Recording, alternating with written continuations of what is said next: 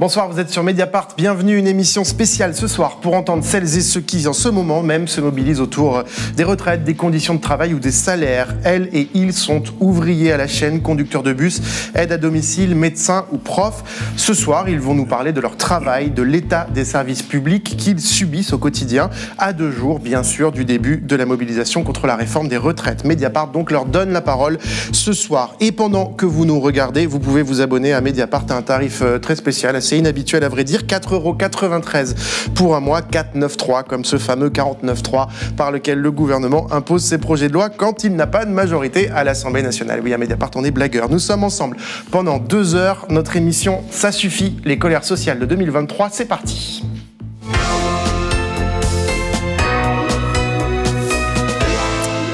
Et bonsoir à tous les quatre. Je vais vous présenter Samuel Beauvois. Bonjour, vous avez euh, 49 ans, vous venez du Nord, vous êtes ouvrier à la chaîne chez Renault depuis plus de 30 ans, c'est dans l'usine de Maubeuge très exactement.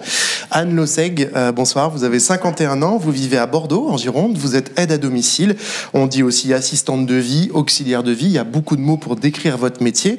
Vous occupez de, personnellement vous, de personnes plutôt handicapées, vous êtes la fondatrice du collectif La Force Invisible des aides à domicile qu'on peut retrouver sur Facebook très facilement, qui représente en fait euh, un, un secteur qui pour l'instant n'était pas très euh, représenté. En tout cas, euh, il y avait il y a évidemment des syndicats, mais enfin en tout cas, ce collectif-là, il représente des centaines de milliers en fait de, de, de, de salariés. Euh, Gémile Kajizis, bonsoir. Vous avez 43 ans, vous êtes conducteur de bus à la RATP, donc à Paris, et secrétaire général du syndicat RATP Bus CGT. Myriam Solain, bonsoir. Bonsoir. Vous avez 46 ans, vous habitez Reims, dans la Marne, vous êtes assistante de régulation médicale au SAMU. Donc très concrètement, c'est vous qu'on a en ligne, vous et vos collègues, qu'on a en ligne quand on appelle le 15 pour une urgence, Oui. souvent vitale. Euh, vous êtes aussi secrétaire de l'AFARM, c'est l'Association française des assistants de régulation médicale. Première question à tous les quatre, ça concerne évidemment l'actualité. Euh, dans deux jours, il y a cette première journée de mobilisation contre la réforme des retraites. On le rappelle, la mesure principale, hein, c'est le report de l'âge légal de 62 à 64 ans pour les générations nées après 61. Je crois que vous êtes tous à peu près concernés ici. Voilà. Euh, la deuxième mesure, c'est l'accélération de l'allongement de la durée de cotisation. Est-ce que vous, les uns les autres, vous allez vous, mobiliser, euh, Bien sûr, euh, comme euh, on l'a fait à chaque fois, euh, appel à la grève, mobilisation de l'ensemble des agents de la RATP, donc qui sera très fortement suivi à la RATP sur le réseau. Donc on va battre le pavé euh, dès jeudi, euh, jeudi après-midi, quoi. Et c'est- c'est le début, en tout cas, du- de la colère sociale Mm. euh, contre ce gouvernement. Euh, Ouais. Pour, pour en tout cas mettre en échec euh, cette contre-réforme. Anne Noseg, la mobilisation pour les aides à domicile, c'est peut-être plus compliqué? Oui, c'est beaucoup plus compliqué puisque nous, on a des personnes, on prend soin des personnes, donc on ne peut pas les laisser toutes seules. Mais ceci dit, euh, dès qu'on aura un trou, on sera aussi euh, dans la rue parce que la retraite nous impacte de plein fouet, nous, euh, avec des salaires précaires. Et, euh, et du coup, euh, ben, il faut qu'on bouge, en tout cas, pour que notre métier soit reconnu, notre pénibilité. Euh, et puis, nous, on est euh, majoritairement des temps partiels. Donc, ça veut dire que les 1200 euros, on ne les touchera pas. Et on sera les vulnérables de qui est le demain. montant de retraite minimum pour une carrière Exactement. complète qui est garanti par le, par le gouvernement, en tout cas d'après le texte de loi. Euh, D'après le texte de loi. Hmm. Mais nous, on n'en fera pas partie. Oui, vous n'êtes pas concerné en fait Non. par euh, ces dispositions Ah non, on n'a sont... pas des temps complets, on n'a pas, une complè- on n'a pas un, un temps complet, on n'a pas une carrière complète parce que on élève les enfants Mmh. Euh, et puis on vient souvent euh, en deuxième partie de carrière euh, dans le métier et puis il y avait des temps partiels euh. Ouais. Plus ou moins imposés. Ouais. Donc la, la discussion là sur, voilà, vous- il y aura une retraite minimale à 1200 euros, vous vous dites dans le secteur des aides à domicile, je crois le, le salaire moyen c'est 900 euros, c'est ça? 930 euros? 964 ouais, 900, ouais, 974 960 euros. Ouais. Parce qu'il y a beaucoup de temps partiel et là vous vous dites, euh, nous on n'est pas concernés. Ben non, on Ouais. n'est pas concerné. Ouais. Euh, Myriam, est-ce que vous, euh, vous pouvez déjà vous mobiliser? Est-ce. Ben, que quand on travaille comme ça au SAMU C'est euh, compliqué parce qu'on est tout de suite assigné en fait, parce qu'il faut quand même du monde pour pouvoir répondre. ouais, Donc euh, oui, c'est compliqué de faire grève. Ouais. En fait, ça, ça change pas grand-chose sur le quotidien quand on fait grève.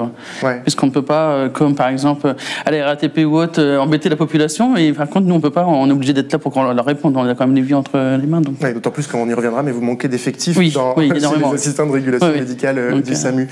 Samuel, vous, j'imagine Moi, en tant que secrétaire du syndicat, forcément, j'ai appelé à la mobilisation. vous êtes au syndicat Sud aussi hein, Oui, c'est ça. Je suis, je suis secrétaire du syndicat Sud chez, chez Renault Maubeuge, donc euh, euh, on a déjà appelé à la, mobilisation dès que dès qu'ils ont commencé à parler du texte. Euh, bah, on a fait comme à la réforme Touraine, hein. forcément. On, appelle à, mobiliser et apparemment chez nous ça va. Le site tournera pas quoi. Il y aura énormément de monde. Hein, hmm. en grève. Quoi. Oui, ce que vous dites, c'est ce qu'on ah sent venir un peu, le démobilisation quand même assez importante pour cette première journée en tout cas. Et la moyenne d'âge chez nous, c'est la cinquantaine, donc forcément, il y a 1200 embauchés chez nous. Euh. Tout le monde est concerné finalement par cette réforme. Tout le monde est concerné, et puis les jeunes qui arrivent, euh, intérimaires, tout ça. Mm. Donc forcément, là, ça va, là, ça va coincer. Là. Alors, c'est le report de l'âge légal. Il y a 4 ans encore, Emmanuel Macron y était opposé. Écoutez-le, c'était lors d'une conférence de presse après le grand débat euh, national qui a suivi le mouvement des Gilets jaunes. Le président est alors très catégorique. Est-ce qu'il faut reculer l'âge légal qui est aujourd'hui à 62 ans? Je ne crois pas. Je ne crois pas pour deux raisons. La première, elle est un peu directe, c'est que je me suis engagé à ne pas le faire. je pense que c'est quand même mieux, sur un sujet aussi important, de faire ce qu'on a dit. Puis la deuxième raison, c'est que tant qu'on n'a pas réglé le problème du chômage dans notre pays, franchement, ce serait assez hypocrite de décaler l'âge légal. Je veux dire, quand aujourd'hui on est peu qualifié, quand on vit dans une région qui est en difficulté industrielle, quand on est soi-même en difficulté, qu'on a une carrière fracturée, bon courage déjà pour arriver à 62 ans. C'est ça la réalité de notre pays. alors on va dire non, non, il faut maintenant aller à 64 ans. Vous savez déjà plus comment faire après 55 ans. Les gens vous disent les emplois c'est plus bon pour vous. C'est ça la réalité. C'est le combat qu'on mène. On doit d'abord gagner ce combat avant d'aller expliquer aux gens, mes bons amis, travaillez plus longtemps. Bon, cet extrait, quatre ans après, il est euh, assez euh, intéressant. Je vous ai vu avoir des petites réactions en, écoutant. Euh, Gémile, qu'est-ce que ça vous inspire? Il parle d'hypocrisie, bah, il en fait lui-même euh, la démonstration, hypocrite. Euh, et euh, enfin, venant de sa part, c'est quand même, c'est un bon comédien, on va dire. Hein, pendant les élections, avant, à chaque fois, il a il est revenu sur ce qu'il avait dit, donc c'est pas la première fois, bon malheureusement, et donc bon, il n'y a pas de surprise en tout cas. moi, je suis pas, pas été surpris en tout cas par la décision qu'il a prise, parce que c'est le, c'est le président des riches, hein, il faut le dire. Il n'est pas là pour, pour le peuple, en tout cas pour les travailleurs. Il est là pour euh, servir euh, le grand patronat. Euh, d'où l'ensemble des mesures qu'il prend, que ce soit en termes de, d'attaquer les chômeurs, d'attaquer les plus précaires. Mmh. Et c'est ce président-là qui, qui creuse les inégalités, en tout cas en France. Et on voit un processus depuis qu'il est euh, président de la République. Sur son premier mandat, déjà, il avait fait quand même assez de dégâts. Et il continue, euh, il continue dans ce sens-là. Donc, euh, face à ça, il y a un rempart. C'est évidemment la colère sociale, les mobilisations, les grèves. Euh, comme dans l'histoire sociale euh, hmm. de ce pays. Hein, et il va falloir qu'on fasse euh, la même chose pour pouvoir le mettre en échec. Anne Nosek, quand vous écoutez Emmanuel Macron, il dit c'est pas possible à cause justement des conditions de travail. C'est-à-dire en disant, finalement, il fait un constat qui est pas faux, en disant c'est difficile de repousser l'âge légal parce que plein de gens ont du mal à travailler tard. Comment, comment ça se passe, vous, personnellement? C'est-à-dire si vous vous dites, voilà, on a un âge légal qui est reporté, vous, vous avez une cinquantaine d'années, est-ce que vous vous voyez à 62, 63 ans continuer de faire le métier que vous faites aujourd'hui Expliquez-nous un petit peu euh, en quoi, euh, bah, ce que vous en pensez? Alors, ce que j'en pense, c'est que non, on ne pourra pas aller à, 64 ans. Euh, lever des, des, personnes, faire des transferts, lever des, des, charges lourdes, on ne peut pas. Déjà, on est un secteur, il faut le savoir, le plus accidentogène euh, au-dessus du BTP, on est trois fois supérieur. Euh, une auxiliaire de vie à 50 ans l'a déjà subi euh, soit une opération, soit des accidents de travail. on est usé, on a une charge mentale énorme. On, on, a des journées qui peuvent aller jusqu'à 13 heures d'amplitude. Euh, alors vous me dites, mais pourquoi on est euh, euh, en, temps partiel? C'est parce que la journée est fracturée en fait. Les prises en charge sont fracturées. C'est le matin, c'est le midi, c'est le soir, c'est la nuit. Donc tout est fracturé, mais pendant ces temps où on est censé être libre, on est corps, enfin, on est au patron. C'est-à-dire que s'il nous appelle, eh bien, on est obligé d'y aller. Mm. Donc voilà, nous, c'est des temps partiels un peu déguisés. Et, et du coup, aller jusqu'à 64 ans dans ces conditions-là, non. Et puis aujourd'hui, euh, on manque beaucoup de personnel euh, et euh, on se reconvertit, on démissionne. on va aller, on préfère aller travailler en usine euh, que dans le maintien à domicile. Euh, et pourtant, c'est un très très beau métier. Hum. C'est euh, ben, moi, c'est le plus beau métier que j'ai fait jusqu'à présent. Et, Parce que c'est du contact, c'est de l'humain. C'est de l'humain, c'est du contact. On apprend beaucoup de choses. On est on est très compétent. On est des professionnels très compétents, mais qui n'est pas reconnu dans dans notre profession. Oui, alors c'est intéressant parce qu'il y a plusieurs choses dans votre profession. Euh, rentrons dans, le détail. Je pensais commencer par Samuel, mais on va commencer comme ça. Euh, dans, dans, dans, votre profession, euh, là, par exemple, on parle beaucoup de pénibilité en ce moment. Oui. Racontez-nous, c'est quoi la pénibilité pour les aides à domicile? Est-ce que ça existe? Est-ce que c'est pris en compte? Alors, ce n'est pas pris en compte. Elle existe. La pénibilité, c'est ben, les 13 heures d'amplitude, c'est les charges lourdes, c'est les transferts, parce qu'il faut savoir qu'un domicile n'est pas forcément équipé en matériel euh, adéquat. On, ne peut pas obliger une personne à, prendre un lève-personne. Donc c'est euh, avec nos bras qu'on fait les transferts. Et, euh, la pénibilité, c'est que ben, c'est 7 jours sur 7, 24 heures sur 24, et, et on a une charge mentale énorme qu'on ne prend pas en compte parce qu'on a toutes les pathologies hein, dans le domicile. Hein. on, croise toutes les pathologies. On a le grand âge, on a la dépendance, on a les personnes handicapées, quelles que soit Exactement, mentale, psychique. Mmh. Euh, et, en fait, on, on rentre dans un domicile, on sort, on va dans un autre domicile. On rentre, on sort, on rentre, on sort.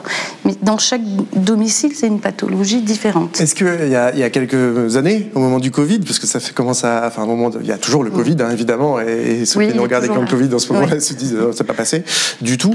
Euh, mais euh, vous étiez euh, à un moment, on a beaucoup parlé de vous et de d'autres personnes qui étaient en première ligne, qui étaient directement dans les maisons à s'occuper à l'époque, d'ailleurs, vous manquiez de masques, vous manquiez de gel, vous manquiez de blouse, vous le disiez. Mm. Il y a une petite prise de conscience de, la réalité de votre métier. Et aujourd'hui, là, trois ans plus tard. Ah ben, elle était toute petite, la prise de conscience, euh, parce qu'on on, on, s'est euh, réveillé. Euh, pendant un mois, on a travaillé sans masque, sans, sans gel, sans blouse, et on allait au, domicile. C'est-à-dire qu'on avait des personnes qui, étaient, qui avaient le Covid, et bien, hmm. on n'était pas protégés. Donc la peur de, de, ramener le Covid à la maison. après, il y a eu, alors là, il y a eu un élan des, du du, patronat qui, euh, qui s'est mobilisé avec euh, les auxiliaires mmh. euh, pour demander à l'État qu'on soit mmh. prioritaire pour, pour, bah, pour tout, tout, tout, ça en fait. Mmh. Et on se rend compte qu'au jour d'aujourd'hui, on n'est on pas, on pas encore prioritaire. Je vais vous prendre le, le dernier exemple, la pénurie d'essence. Nous, on prend notre voiture, on va chez les personnes on a des, euh, on a des actes essentiels à faire. Eh bien, on n'était pas prioritaire sur les listes. C'est-à-dire qu'on a dû euh, faire des kilomètres et des kilomètres. Et celles qui sont en rural, elles ont fait des kilomètres et des kilomètres. Euh, et il y en a qui n'ont pas pu aller travailler parce qu'on ne pouvait pas mettre de l'essence dans la voiture. Euh, donc on n'est on, on pas encore prioritaire. Euh, je vais vous prendre encore un autre exemple qui, qui, qui va nous toucher de plein fouet, c'est la, la vignette critère. Là, Strasbourg, donc en les villes créent des zones justement où seules certaines voitures pourront circuler. Voilà, sauf que alors euh, ils veulent plus de critères 2, euh, en 2028. Euh, mais nous, déjà, on n'a pas de critères 2, hein. on a des critères 4, euh, 5. Donc des voitures qui ont des. mais qui, sont, voilà, qui, polluent, mais nous, on voudrait moins polluer. Sauf qu'à 900 euros, comme on voulait aller acheter mmh. et qu'on nous prête de l'argent pour, pour changer notre voiture, c'est impossible. Déjà, on ne remplit pas notre frigo à la fin du mois. La voiture, on ne peut pas. Et, et en fait, pour tout vous dire, on représente en taux de précarité 18%. On, on est supérieur au taux national. Ça veut dire qu'il y a 18% de personnes précaires dans votre dans le métier. C'est ça, oui, d'accord, ok. Voilà. Et précaire, euh, précarité financière, précarité sociale. Mmh. Pas que. Oui, vous dites qu'il y, y, y, a des adhérents de mon collectif qui vont, euh, ou des membres du collectif qui vont au Resto du Cœur qui... Ben, qui vont au Resto du Cœur, qui. Euh, on a découvert pendant la pandémie qu'il y en a certaines qui dormaient dans leur voiture avec leurs enfants. Euh, la pandémie a fait aussi euh, ressortir ben, les, les, personnes qui étaient mmh.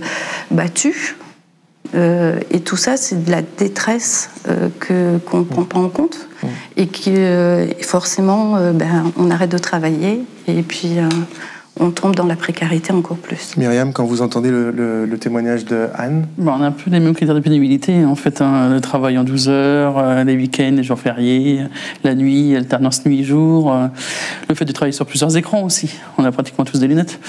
Donc, euh, au casque, on travaille tous au casque. Donc, c'est vrai que tout ça, c'est pas, pas pris en compte. En, en gérant de l'urgence humaine. Tout à fait. vous gérez des AVC, ah bah, vous gérez des, des, ah oui, des, des, arrêts cardiaques, des pendaisons, aussi bien de la détresse psychologique que médical en fait. Mmh. Mmh. et, votre pénibilité, vous aussi, je crois que quand vous entendez ce débat autour de la réforme des retraites, euh, y a, y a, ah. le gouvernement dit on va réintroduire des critères de pénibilité et, nous dit euh, on va essayer d'arranger ça dans les entreprises avec un index, par exemple. Pour, les pour l'instant, pour la fonction publique, en fait, euh, les critères de pénibilité ne sont pas reconnus. Il n'y a pas de critères de pénibilité dans la fonction publique, donc euh, pour l'instant, on est complètement oublié. Et puis, euh, à 64 ans, faire encore euh, alternance jour-nuit, des travails en 12 heures, rester assis pendant 12 heures, c'est pas une détresse physique, c'est pas une fatigue physique, mais c'est plus une fatigue psychologique, en fait, qu'on a. Et c'est vrai qu'on a beau entendre, oui, ben c'est bon, t'es fonctionnaire, tu restes assis pendant 12 heures, t'es pas fatigué, mais si, quoi. Mmh. Expliquez-nous peut-être gérer de l'humain comme ça, c'est-à-dire être au bout du fil à 3 heures du matin, mmh. et qu'il y a ce, cet appel du, du, du 15. En ce moment, il y a un problème spécifique, c'est que normalement, si j'ai bien compris, vous, les règles, c'est que vous répondez en 30 secondes au téléphone. Aujourd'hui, on est plutôt parfois, parfois dans les cas extrêmes, sur 30 minutes Alors, il n'y a pas 30 minutes au départ, mais en fait, 30, on doit dans 30 secondes savoir à peu près l'urgence. On va savoir prioriser l'urgence. Sauf que ben là, ces derniers temps, il y a eu euh, Monsieur Brun qui a dit euh, le 15, voilà, qui a dit d'appeler le 15 pour euh, avant de passer aux urgences. Donc, euh, on n'a pas mis d'effectifs au 15, donc on a eu plus d'appels. Ensuite, on a eu les médecins numéros qui ont fait grève et que ben, du coup, on s'est tout pris. Mhm. on s'est pris la bonne vague. Pareil, sans effectifs supplémentaires, alors que déjà à l'origine, sans ces, sans ces conditions là on est déjà à 800 euh, assistants de régulation médicale sur la France euh, qui manquent. Oui, vous dites euh, il manque 800, on est 2000, vous êtes 2500 en France. À peu près, oui. Vous dites il manque à peu près 800 assistants de régulation Tout à fait, pour que ça tourne bien, oui. Ouais. Et qu'est-ce qui se passe? Pourquoi il n'y a pas, on pourrait se dire, bah, il peut y avoir des, vocations, je crois même qu'il y a des centres de formation qui ont ouvert, nouveaux. Et pourtant, vous constatez quand même que... Alors en fait, depuis 2019, il y a des centres de formation, les CFAM qui sont ouverts pour pouvoir avoir un diplôme. Et du coup, maintenant, il faut avoir ce diplôme pour pouvoir être en poste, hein, ce qui fait que ça a freiné un petit peu aussi.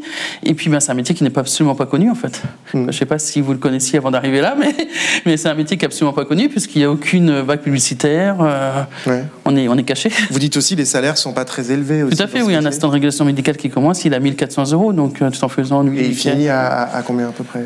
Euh, ben, Je ne saurais pas, je saurais pas dire, franchement. Mais c'est vrai que ce n'est pas, pas top par rapport à, à ce qu'on fait.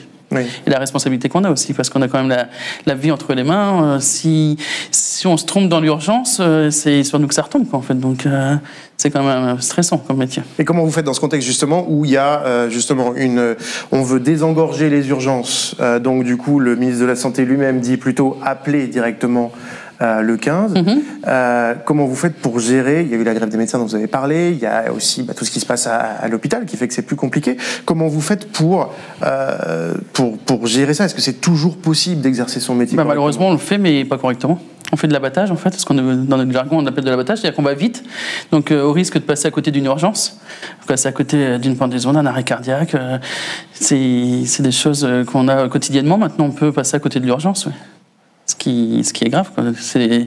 Ce qui est, j'imagine, la pire des choses. Enfin, je veux dire. Ah bah oui, c'est, stressant pour nous. en allant au travail, on se dit bon, pourvu qu'aujourd'hui ça me tombe pas dessus, quoi, parce que après euh, c'est compliqué. Puis même pour la personne qui, qui appelle, quand on est, on, est des robots. Hein. c'est, ça va être votre nom, votre prénom, votre adresse, euh, qu'est-ce qui se passe, et hop, on passe. Donc ils doivent même avoir, ils ont pas un bon accueil. Un bon accueil. Alors qu'on est dans une condition de détresse et que c'est le moment justement où il faut. Tout à fait, c'est le moment où on devrait être plus à l'écoute. On devrait pouvoir les écouter, pouvoir communiquer correctement. Que là, on fait. Dans les écoles, on nous apprend à communiquer, que là, on ne peut pas le mettre en pratique, c'est pas possible. Oui, c'est ça, parce que c'est quand même euh, assez euh, intéressant de vous entendre dire. Euh, moi, je suis assistante de régulation médicale et souvent on se dit qu'on se fait de l'abattage. Ça veut dire que ça, les, gens qui nous regardent, ils peuvent se dire, je ne sais pas comment je vais être, comment ça, c'est difficile si on appelle le 15, on ne sait pas comment ça va se passer. Bah, déjà, du coup, les délais de décrocher peuvent être plus longs. Et puis aussi après pour les moyens, parce que bah, derrière les moyens ne sont pas non plus multipliés, donc ils peuvent attendre une heure, deux heures, trois heures pour avoir une ambulance, par exemple. Donc c'est quand même dommage. Mmh. C'est quoi qu'il faudrait changer là en urgence? Avoir plus d'effectifs et puis plus de moyens. Mmh. Et vous dites aussi être reconnu comme soignant, je crois. Et être reconnu comme soignant. Parce que vous n'êtes pas reconnu comme soignant aujourd'hui. On est Pourtant, vous faites parfois du, diagnostic. Voilà, en fait, bah, on ne fait pas du diagnostic, mais on guide les gestes. Par exemple, c'est à l'instant de régulation médicale à faire faire un massage cardiaque, à, faire, à mettre en position latérale de sécurité, des choses comme ça. C'est à l'instant de régulation médicale de le faire. Donc, on, guide des gestes de, secours au téléphone. Donc, hein. Et on a tous les, les critères euh, pour, euh, pour soignants, puisque bah, on fait les mêmes horaires. On ne travaille pas du lundi au vendredi 8h-16h. On fait le week-end, la nuit. Ouais. Euh, Samuel, euh, comment vous, vous réagissez? Moi, ça m'intéresse parce que Anne, elle a dit, il y a beaucoup d'aides à domicile euh, qui parfois se disent, je préférerais travailler à l'usine. vous, quand je vous ai eu au téléphone pour préparer un peu l'interview, vous m'avez dit, ça fait 30 ans que je bosse chez Renault. Bah, moi aussi, je suis un peu cassé quand même. Bah, un peu beaucoup. Racontez-nous. Bah, chez nous, c'est quand même un travail de chaîne, c'est physique. Donc euh, moi j'ai 32 ans sur chaîne, euh, j'ai déjà deux hernies à mon effectif. Hein. J'ai une hernie, j'ai une hernie de Spingle et j'ai une hernie euh, ombilicale. Et là j'ai une nouvelle hernie. Enfin ça c'est aussi lié au stress. C'est une hernie une hernie atale. Et en fait chez nous euh, enfin, c'est physique maintenant. Euh. Racontez-nous un peu votre travail. C'est-à-dire, vous, vous êtes ouvrier, vous, fabriquez notamment la Kangoo, la voiture que tout le monde connaît. Euh, racontez-nous, c'est quoi une journée de, Samuel à Renault Maubeuge? Bah, Une journée, ça commence à, 5h, 5h40 et vous finissez à 1h35 et l'après-midi bah, vous commencez à 1h35 et vous finissez à 21h20 donc bah, vous êtes enchaîné hein. si vous voulez aller aux toilettes c'est pas possible euh, vous êtes obligé d'appeler euh, ce qu'on appelle un conducteur d'installation qui vient vous remplacer pour aller aux toilettes. Donc euh, vous êtes ce qu'on voilà, ce qu'on appelle vulgairement enchaîné. Hein. C'est la magie du travail à l'usine, comme a dit la ministre Agnès Pannier-Runacher oui, bah, Je l'invite à, venir voir la magie. je pense qu'elle va pas faire une heure hein, chez nous. On s'aperçoit aujourd'hui, même les intérimaires qui arrivent chez nous, ils arrivent à 6 h du matin, à 8 h ils sont plus là. Donc on a des intérimaires qui arrivent, ils arrivent à 6 h pour travailler, et puis euh, à 8 heures, on cherche après. Euh, non, non, moi, je vais pas faire ce boulot-là. Ah, t'as as fait 32 ans, toi, sur chaîne, mais t'es un cinglé. Hein. Euh, aujourd'hui, enfin, moi, quand je suis rentré chez Renault il y a une trentaine d'années, on était cassé physiquement parce qu'on portait beaucoup, énormément de pièces à la main. maintenant, c'est quand même robotisé. On a quand même des assistances. C'est quand même soulagé. Mais ce qu'il y a, c'est que quand tu rentrais, on faisait 20 voitures à l'heure. Maintenant, on en fait 60 à l'heure. Donc, euh, forcément, c'est derrière. Il y a plus d'automatisation, mais plus de cadence aussi. Plus de cadence, mais et ce qu'il y a, c'est qu'en plus de jouer avec, euh, avec euh, le avec notre, fatigue euh, qui est physique, on joue aussi avec notre fatigue euh, mentalement. Euh, si vous faites des micro-arrêts, il y a des mouchards partout, à chaque poste. Et si vous faites, voilà, vous n'avez pas tenu la cadence pour faire votre véhicule, il y a quelques secondes d'arrêt, ces quelques secondes sont multipliées, et en fin de journée, on vous appelle dans le bureau et on vous dit, bah voilà, t'as fait 20 minutes d'arrêt. Et on vous fait remplir ce qu'ils appellent un S2N, euh, enfin c'est un formulaire. C'est une sanction euh, C'est un incident et c'est un moyen de pression. Donc euh, tout, tout, le temps, on vous met tout le temps la pression, sans cesse, sans cesse, sans arrêt. Vous arrivez, et puis maintenant ils ont rajouté sur la pile ce qu'on appelle de l'overtime. Hein. donc, donc du temps supplémentaire Du temps supplémentaire. Des heures sup, quoi, on peut dire Mais non, c'est pas vraiment ça. c'est des heures sup, mais c'est des heures sup obligatoires. Qui sont liées aux besoins de production de, de l'instant. C'est ça, s'il y a un arrêt de production euh, liée à une panne euh, éventuelle, bah, on arrive à midi et on vous dit bah, aujourd'hui tu vas faire un quart d'heure de plus. Et vous êtes obligé de le faire. C'est c'est inscrit, vous devez faire l'overtime, vous devez faire les, les samedis. Enfin, c'est devenu très très pénible de travailler sur chaîne. bon, moi je tiens, pourquoi? Parce que j'ai quand même 32 ans. De métier De métier, de chaîne, et je me dis, voilà, je suis plus sur la fin. Enfin, je me disais, je suis plus sur la fin que, euh, que sur le début. Donc forcément. Vous disiez, j'ai encore 12 ans à faire, là vous vous dites j'ai 14 minimum. Oui, bah là je me dis, euh, là, et, parce qu'il y a quand même des plans chez Renault, mais euh, je me dis j'en ai encore facilement 11 à faire. Quoi. je sais que j'ai 43 ans à faire, j'ai commencé à travailler à 18 ans sur chaîne, je sais que j'ai encore au moins 11 ans à faire. Hein. Hmm. Donc 11 ans, je me dis je vais les faire dans quelles conditions? Parce qu'on s'aperçoit qu'à chaque véhicule, qui, chaque nouveau véhicule qui arrive sur euh, sur chaîne, c'est des nouvelles contraintes. C'est, euh, on travaille à la carte. On est la flexibilité à, outrance.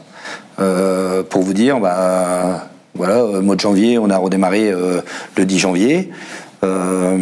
avant, on nous met en APLD, donc c'est un chômage technique partiel. À savoir que maintenant, ils ont trouvé une petite combine chez Renault. Euh, je vous mets en, je vous mets en chômage technique partiel, mais euh, sur euh, sur cinq jours de chômage, eh ben, je, je vous bouffe une journée de congé. Voilà comment on nous prend nos journées de congé. Donc on nous met en chômage technique partiel jusqu'au 10 janvier et derrière vous reprenez le 10 janvier et vous dites bon bah il n'y a pas de boulot euh.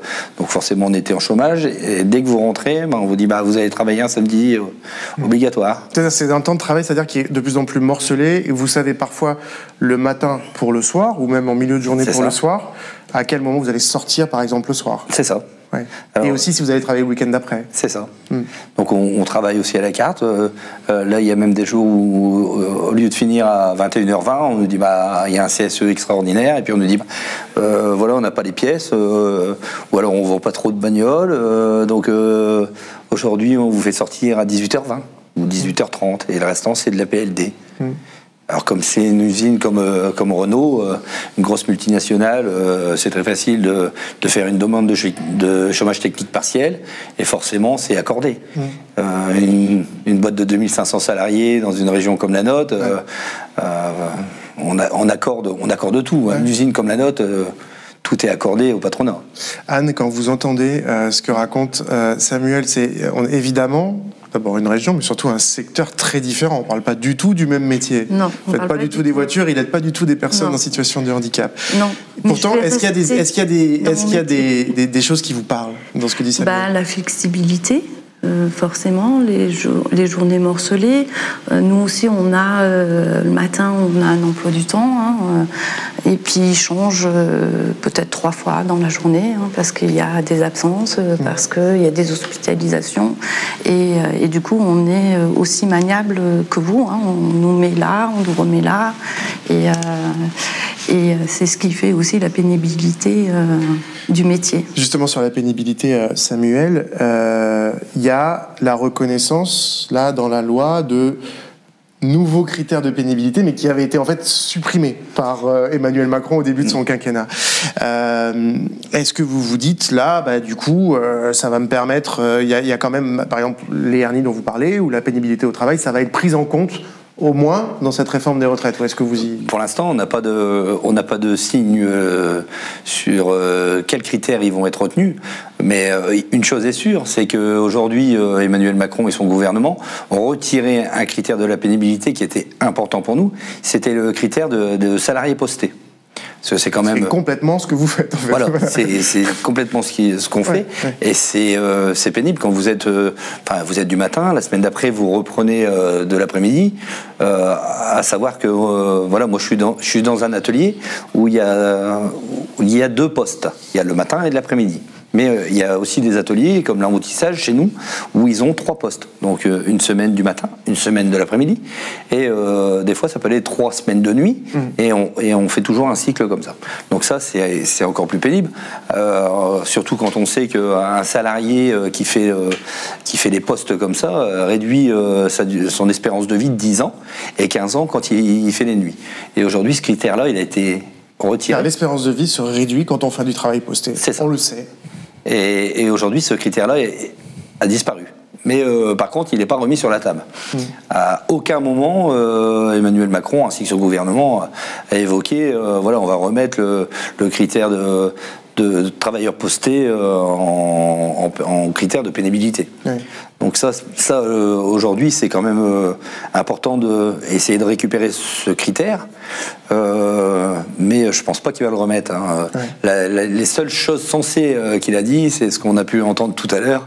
Et là, on était d'accord, à 62 ans, c'était le, c'était le grand taquet pour nous. C'était, voilà. Hmm. Mais, mais... Jémy, vous vouliez réagir? Oui, bah, c'est par rapport à, cette question de pénibilité. Hein, ce que Anne disait, un peu ce que tu disais aussi, euh, on est confronté à la même chose. Hein, c'est les horaires décalés, l'exposition euh, pendant toute sa carrière. Euh, mm. nous, à la RATP, les agents de la RATP, c'est pareil, c'est se lever très tôt le matin, toutes les semaines de changer d'horaire. Euh, ensuite, à ça s'ajoutent effectivement euh, les cadences, parce que, alors c'est peut-être pas les mêmes cadences, mais c'est de tenir les temps de parcours, euh, le stress, les, de gérer les situations conflictuelles avec les usagers, les tiers, les scooters, donc tout, l'environnement qui gravite autour de vous, la pression de la hiérarchie pour atteindre aussi des objectifs. donc effectivement, là, dans, dans, dans, ce que les collègues sont, sont en train de de dire, moi je, je, me retrouve aussi, puisqu'on est exposé à, ça, la pénibilité due aussi. Euh, euh, on a beaucoup de, de, collègues qui finissent, on a un machiniste sur quatre qui finit en inaptitude.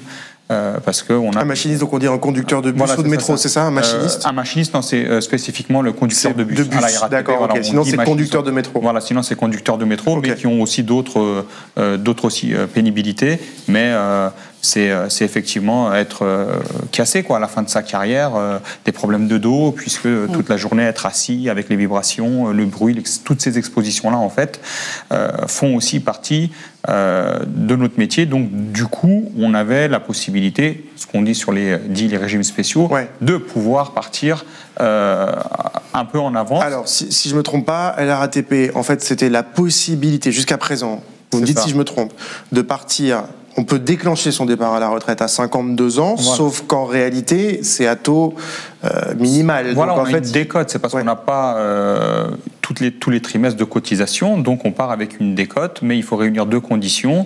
Actuellement, c'est 52 ans d'âge et 27 ans euh, d'ancienneté qui nous permettent d'ouvrir nos droits de départ anticipé à la retraite. Mais voilà, c'est pour compenser en fait cette pénibilité. Mais quand on part à 52 ans, par exemple, avec les 27 ans, on part avec. Ah on n'a rien. On a une retraite aux alentours de. Après, tout dépend aussi de votre évolution de carrière mmh. et mmh. tout ça. Donc, on peut tourner aux alentours de 1000 euros 1100 euros, 1200 euros maximum. Quoi. Donc, euh, donc voilà, on est euh, effectivement euh, exposé et nos métiers sont de moins en moins reconnus, il y a moins en moins d'attractivité. et par contre, les salaires aussi, hein, quand on vit aussi dans l'environnement dans les grandes villes, bah, avec le coût de la vie qui est extrêmement cher, donc ça reste quand même des petits salaires.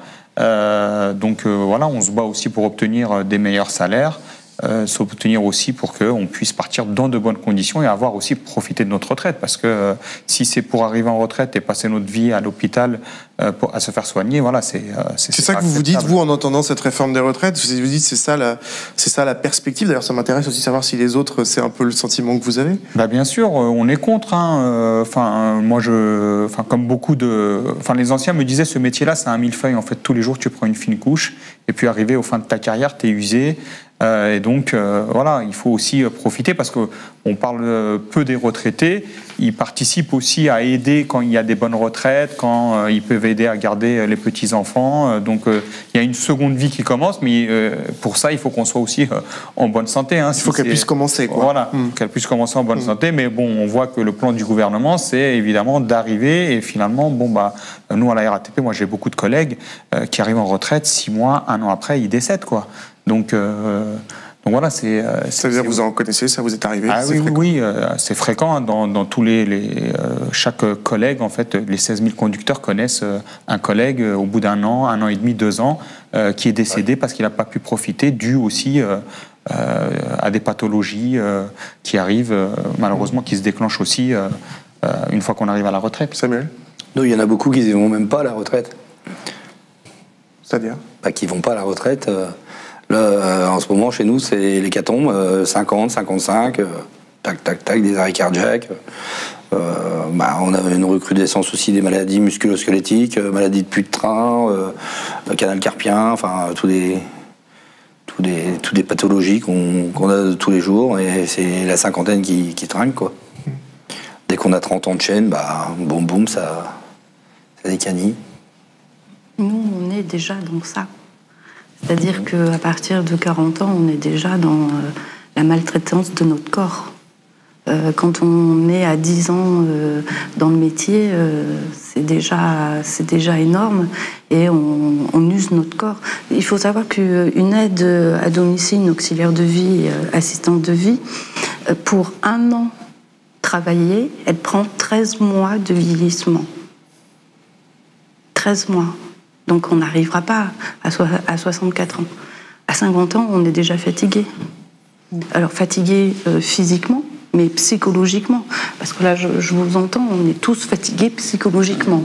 Euh, le stress amène des, euh, des, maladies, déclenche des maladies. Nous, on a un taux de burn-out impressionnant. On a des démissions parce que rien vous dites nous aussi. Ah oui, les démissions, en fait, il y en a plein qui arrêtent, quoi, en fait. Ils veulent plus, ils changent de métier, ils changent de voie alors qu'ils aimaient, aimaient, leur métier en fait. Mais il y en a beaucoup qui changent de voie. Parce qu'on entend tout le toute cette réforme du travail, de, la, de la, des retraites, et c'est pas seulement ce gouvernement, c'est aussi plein d'autres gouvernements, et pas que d'ailleurs les ministres. Euh, on entend souvent, mais il faut, il faut travailler, le travail c'est important dans la vie. Je pense que tout le monde, bon d'accord, peut dire ok d'accord, euh, mais, mais, euh, mais là ce que vous êtes en train de dire, c'est que vous êtes exercé dans des, dans des professions qui, qui usent en fait. Oui, dans des bonnes conditions. On dit que le travail c'est la santé. Mais, euh, mais si on n'a pas de, de, bonnes conditions, on n'a pas la santé. C'est, euh, on arrive, euh, on est les dépendants de la, de la santé. Qu'est-ce qu'il faudrait vous, qu'est-ce que vous avez envie de dire s'il y a un ministre ou une ministre qui vous écoute ce soir qui dit là, je suis en train de faire la réforme des retraites, c'est ça qu'ils sont en train de faire du coup. si le ministre du Travail Olivier Dussopt il vous, il vous écoute, vous avez envie de lui dire quoi bah, sur comment améliorer votre travail? Bah, J'aimerais bien qu'il reçoive le collectif. Euh, le collectif. non, on ne lui a pas demandé. On a demandé à M. Combe et, et à Mme Pauline Sassard qui nous ont reçus. Euh, bah, on leur a demandé qu'ils reconnaissent notre pénibilité, qu'ils nous fassent un régime spécial pour les aides à domicile, euh, qu'ils euh, revoient nos conditions de travail et les conditions d'emploi, c'est-à-dire le salaire, les contrats.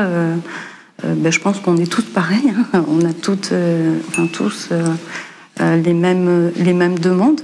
Et pourtant, on est dans des secteurs différents. Mmh. voilà. Bon, j'irai pas en usine. Hein.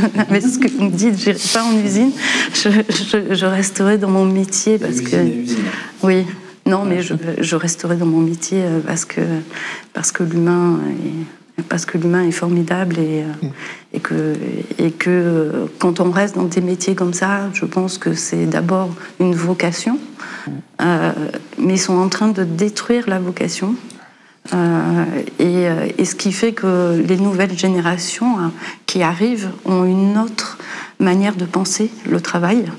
Et, euh, et, ce qui nous amène, en tout cas dans notre métier, une attractivité, moi ce que je dis, une attractivité négative, c'est-à-dire comme vous, euh, ils rentrent, ils font un jour, ils sont bons. Ils font une semaine, ils sont bons. Et ceux qui durent un peu plus, c'est deux ans, et après ils sont bons. Et là où on est encore en difficulté, c'est que c'est les professionnels qui ont 10 ans, 15 ans, 20 ans, ils sont bons aussi. Nous, on manque de 300 000 professionnels. On manque de 300 000 professionnels. C'est-à-dire qu'aujourd'hui, il y a des prises en charge qui ne peuvent pas être faites. C'est-à-dire qu'on laisse la personne euh, avec sa dépendance toute seule. Alors c'est soit les aidants qui, vont s'en occuper, donc euh, là on use les aidants, je pense qu'il y aura plus dans, la, santé, il n'y aura plus des longues carrières en fait. Comment ça fera bientôt 25 ans que je suis assistant de régulation médicale, mais je ne pense pas que ceux qui commencent à assistant de régulation médicale en ce moment seront là dans 25 ans. Vous pensez que la carrière que vous avez faite, c'est de plus en plus rare Ça va être de plus ah en plus rare Oui, parce que c'était pas du tout comme ça il y a 25 ans en fait. Donc euh, on pouvait faire mieux notre travail il y a 25 ans. Ouais. Mais je pense qu'il y aura plus dans tous les secteurs, il y aura plus, il y aura plus. Euh, des carrières longues. on ira dans, enfin, ils iront dans plusieurs métiers et puis ils vont, ils vont tirer, ouais, ils vont tirer le meilleur et puis quand, quand ils verront que les conditions de travail n'iront plus, ils iront changer un autre métier. Vous êtes assez d'accord? Ah oui, oui, bah, nous aussi on assiste. Bah là, je pense que tous les Parisiens, les Franciliens ont pu constater. Hein, J'allais vous poser la question. exactement. Hein, je pense que c'est devenu une catastrophe parce qu'on assiste exactement à ce que tu dis, Anne, euh, à un dégoût. En fait, on dégoûte les gens qui travaillent. Euh, dans ces, dans ces secteurs-là, euh, soit par des pressions, soit par des conditions de travail qui sont devenues insupportables. Nous, on nous a augmenté le temps de travail euh, dans le cadre de, de l'ouverture à la concurrence et de la privatisation. On vient de nous diminuer nos repos. Puisqu'il faut, le, il faut le dire, il y a une loi qui est passée d'un homme qui va faire en sorte qu'il y a une privatisation des transports publics en Ile-de-France. C'est ça. Euh, qui arrive en 2025. Exactement. Hein, pour lesquels, du coup, les différents réseaux se sont préparés. En, donc la RATP, euh, Keolis, les autres. Voilà, c'est l'État qui organise en fait cette En créant des filiales finalement des filiales de droit privé, voilà. qui vont se concurrencer les uns les autres. Donc c'est à travers euh, l'État. Donc ça ne concerne pas que la RATP, ça concerne aussi les réseaux euh, urbains. Bah, pour l'instant, c'est le monopole euh, historique de la RATP qui, est qui est attaqué. Donc ce qu'ils appellent le fameux cadre social territorialisé sur la petite, Paris et la petite couronne, où il y aura l'éclatement d'un réseau monopole historique de la RATP. Donc il y aura 12 lots, 12 euh, concurrents euh, privés qui vont se faire, qui vont euh, succéder les uns après les autres. Mais ça, derrière, effectivement, ça va avoir des conséquences d'un point de vue conditions de travail aussi par rapport aux usagers, puisque quand vous avez des multitudes d'opérateurs qui agissent, ils sont là que dans un seul but, c'est de faire des marges et euh, de, de, faire des bénéfices le plus rapidement possible. Alors, on va écouter, justement, vous parliez évidemment, tous les franciliens qui nous écoutent, ils savent de quoi on parle quand on parle de galère du métro, de RER e euh, en ce moment. Euh, il y a plusieurs problèmes, notamment la maintenance, mais aussi le manque de conducteurs du métro et de chauffeurs de bus, problème reconnu et soulevé par votre nouveau président, qui est aussi l'ancien Premier ministre d'Emmanuel Macron, Jean Castex, on l'écoute. On a donc, oui, effectivement, des difficultés à recruter, qui est un, enjeu national, mais euh, qui s'applique particulièrement, qui s'est appliqué particulièrement à la RATP, en particulier pour les machinistes receveurs, les chauffeurs de bus, si vous voulez, mais aussi pour les conducteurs de métro. Et je voudrais insister auprès de vous aussi pour les métiers de la maintenance et de la sûreté pour lesquels les difficultés sont sans doute encore plus fortes que pour les autres catégories professionnelles. Nous avons euh, eu des démissions qui ont augmenté euh, pour atteindre 1000, euh, un peu plus de 1000 en 2022. Alors rapporté à l'effectif du groupe, c'est pas considérable, mais voyez, si je prends avant Covid, Madame la Présidente, on était autour de 400. Donc quand même, c'est une illustration, un symptôme supplémentaire de nos difficultés RH. Et de la même façon, le taux d'absentéisme, notamment en maladie, n'a pas retrouvé son niveau d'avant Covid. J'ai neutralisé évidemment la période 2020-2021, euh, qui est tout à fait particulière, mais euh, ces indicateurs se sont dégradés et ils se sont particulièrement dégradés, d'où les résultats euh, dans notre euh, département euh, réseau de surface, c'est-à-dire le bus et le tramway en 2022. Bon, j'ai Jean Castex, il est d'accord avec vous, ça va pas Oui, moi, il y, a juste un petit point où je suis pas d'accord avec lui, c'est quand il dit que, en fait, il parle d'un problème de recrutement. En fait, c'est faux. C'est-à-dire que Île-de-France Mobilité et la RATP ont profité de cette période. Enfin, vous vous dites, on reçoit plein de CV. Voilà, on a reçu quand même 12 000 CV ils ont embauché 400 euh, personnes, alors que euh, nous, c'est 2000 conducteurs de bus. Qu'est-ce qui se passe? Euh, bah, ça a été organisé en fait dans le cadre de l'ouverture à la concurrence. À partir du moment où on augmente le temps de travail de 16 000 conducteurs, qu'on leur diminue 6 jours de repos, c'est un plan de productivité. Et donc du coup, ils ont gelé les embauches. Ils ont, ça leur a permis de euh, aussi sacrifier les services de formation. Euh, dans tous les autres services d'encadrement, ils ont diminué le personnel et donc aujourd'hui, on s'est retrouvé lorsque l'offre en fait, elle, enfin, les usagers sont revenus pour pouvoir aller travailler. Et eh ben là, ils se sont retrouvés face à une situation où, comme ils n'avaient pas anticipé que Madame Pécresse avait demandé la diminution de l'offre de, voilà, de l'offre de transport, on s'est retrouvé dans une situation où on n'a pas pu assurer l'offre de transport à plus de 25% Donc ça s'est vu. Donc c'était une vraie moi, je prends aussi euh, les transports. Hein. ma famille, euh, plein de collègues utilisent les transports. C'est une vraie galère.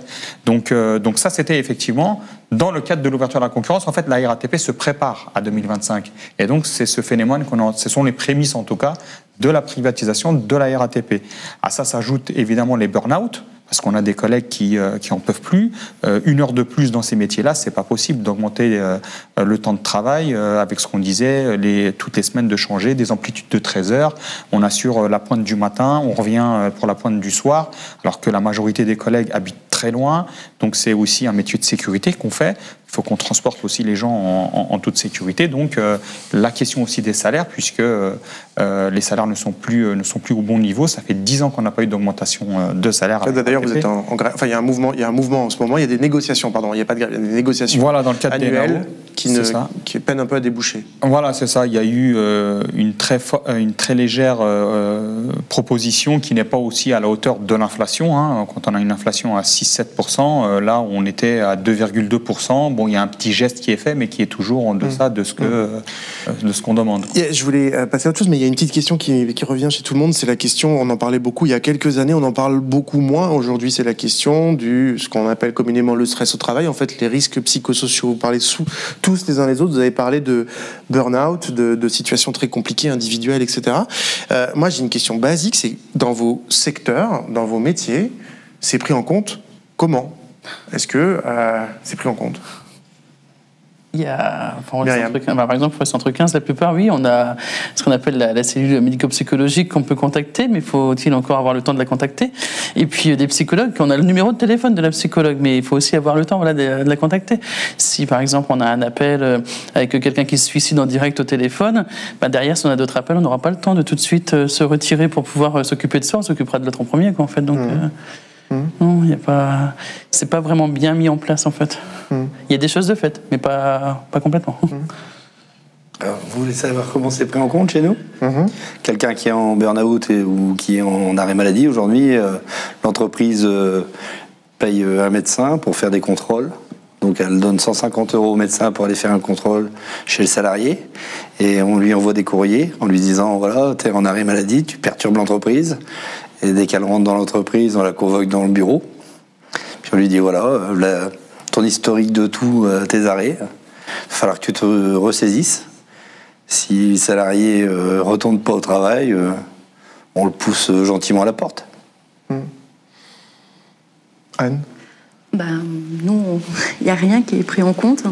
Alors, il y a quelques, quelques structures qui mettent, euh, qui mettent en place un soutien psychologique, mais c'est un, numéro. Mais, euh, mais la plupart, non. C'est-à-dire que quand nous, on a une personne euh, qui décède à l'hôpital, il y a une écoute psychologique qui se met en place. Ben, nous, vous n'êtes pas concernés. Vous dites on est toujours les oubliés de toute façon. Hein. Bah, oui, on est, on est les oubliés et puis, puis, puis on enchaîne. Donc c'est de la charge mentale en plus. Euh, psychologiquement, euh, un décès d'une personne qu'on s'est occupé pendant des années, euh, on, a, on, a créé des liens. Donc forcément, ça touche. Ça touche. ensuite, on subit des agressions verbales et des agressions sexuelles. On en parle très peu dans notre métier, mais ça existe euh, eh bien là, il n'y a rien qui est mis en place mm. non plus. Mm.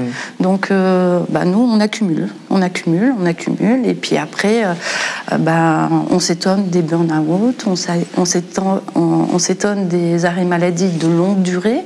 les dépressions, il y en a qui finissent à l'hôpital quand même. Hein.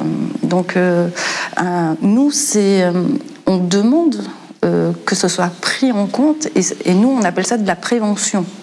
Euh, euh, qu'on soit formé sur des, euh, sur, des comportements, savoir se défendre quand il y a un geste mal placé, une parole, une parole déplacée. Vous êtes dans une relation avec une personne qui est à domicile, vous, c'est un huis clos aussi d'une certaine façon. c'est un huis clos. alors, il n'y a pas que forcément la personne, il y a, le, l'entourage.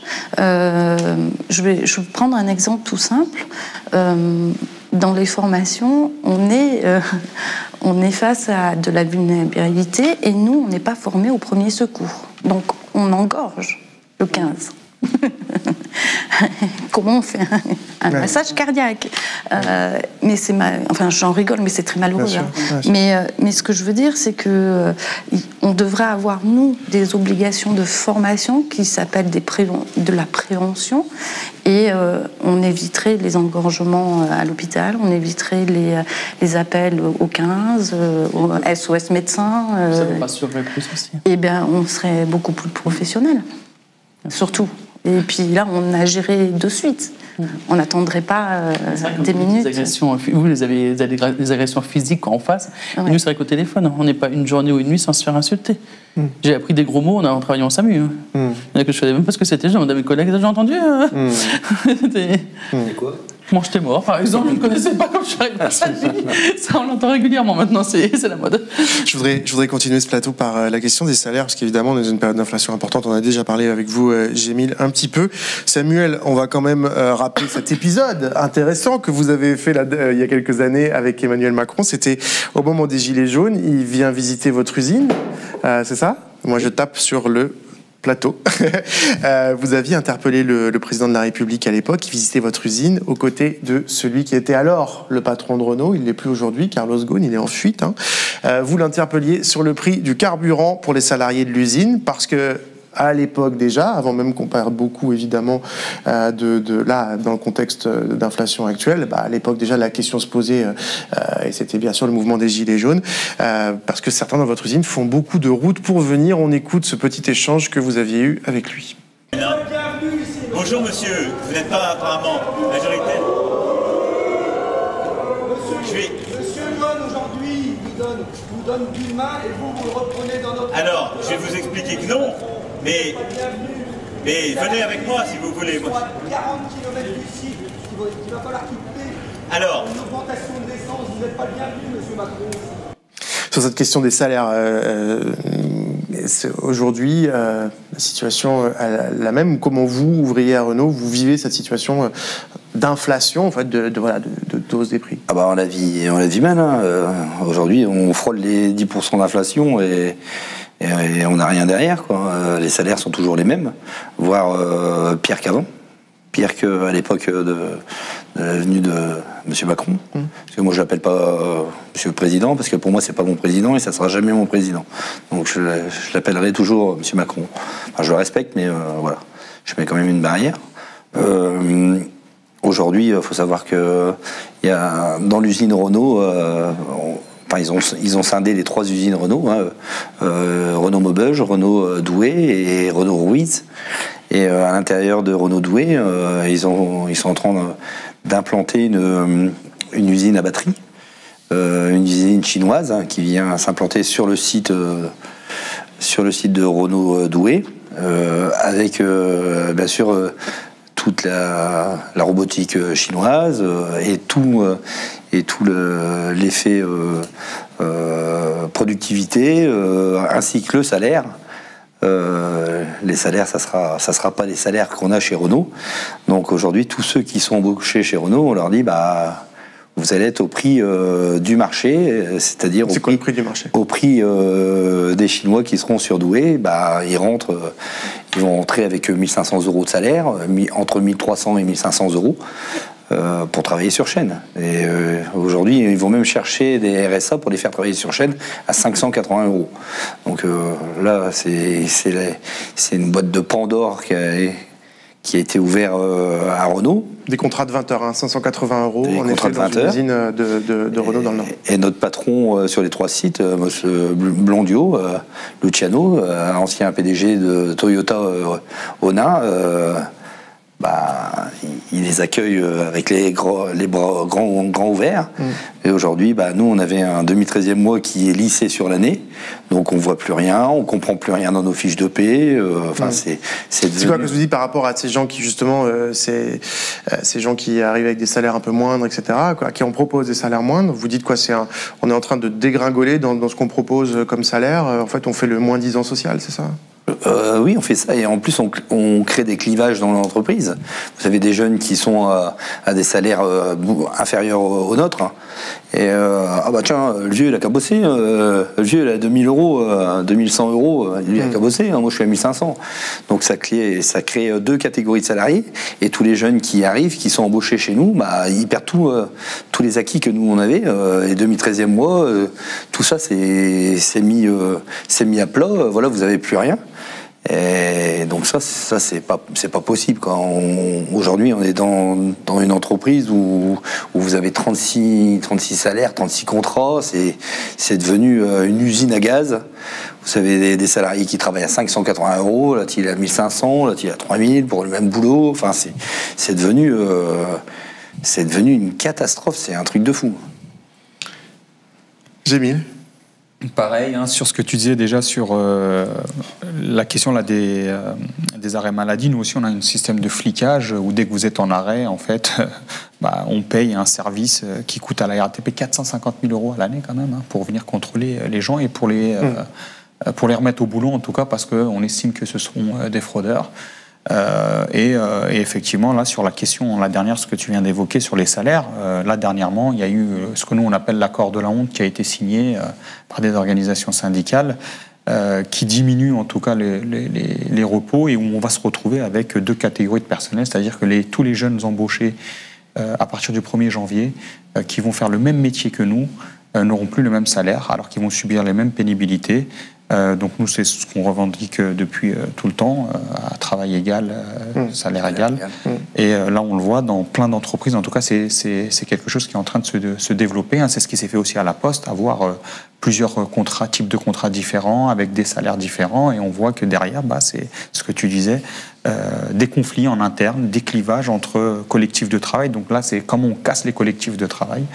Euh, et on individualise euh, les, euh, le travailleur pour l'isoler, pour le monter contre son collègue, alors que on fait tous le même métier dans l'entreprise. Et donc ça, c'est effectivement, ça profite, ça profite aux, aux, entreprises, malheureusement. Myriam, je voudrais terminer avec vous. Vous, vous êtes rentré. vous avez fait ce métier depuis longtemps, depuis 25 ans. Vous l'avez fait, j'imagine, parce que vous vous dites que c'est un métier noble et utile. Euh, euh oui, quand tu peux arriver euh, par hasard en fait au début. mais... Voilà, ça arrive souvent. Ouais. J'étais quand même dans le médical avant, mais oui, j'avais un petit peu par hasard au niveau du SAMU. Je connaissais pas du tout le, métier d'assistant de régulation médicale. Je l'ai appris euh, sur le tas. Qu'est-ce que vous vous dites? Parce que je n'ai pas été au bout de, la, votre réponse tout à l'heure quand vous disiez euh, le, le, c'est pas du tout comme ça il y a 25 ans. C'est-à-dire qu'est-ce que vous vous dites aujourd'hui sur l'état de nos services publics vu de l'assistante de régulation du SAMU de la Marne que vous êtes? Eh bien déjà on avait moins d'appels. Hein donc euh, moins de charge de travail. Mmh. Euh, la population n'était pas la même non plus, était moins exigeante, elle n'était pas autant assistée que maintenant. Maintenant, c'est ils claquent des doigts, ils veulent tout tout de suite, donc euh, alors qu'on n'a pas les moyens derrière pour pouvoir mmh. leur répondre. Et puis, oui, on avait les effectifs qui. C'est sur vous que se déverse cette colère, en fait. Voilà, que vous êtes la première, première personne au bout du fil. Mmh. Alors après, on peut le comprendre quand ils sont paniqués, ce qui est normal, hein, je veux dire. mais bon, quand ils ne sont pas paniqués et qu'ils sont en colère contre nous, non, quoi. Mais, mais Ok, merci beaucoup à tous les quatre d'être passés euh, sur, ce, plateau. On va poursuivre dans un instant avec euh, d'autres invités. Euh, Puisqu'on a pas mal parlé des retraites, je vous invite à retrouver nos articles et nos vidéos sur Mediapart sur ce sujet, et notamment cette vidéo en 5 minutes. L'économiste Michael Zemmour répond aux arguments du gouvernement sur la réforme des retraites. Vous allez voir, c'est assez efficace. C'est du théâtre, c'est un classique, c'est-à-dire qu'à chaque fois qu'on veut faire une réforme des retraites, on dit jamais je veux baisser les droits à retraite, on dit toujours le système est en danger, voilà comment le sauver, il n'y a qu'une seule solution, c'est la mienne.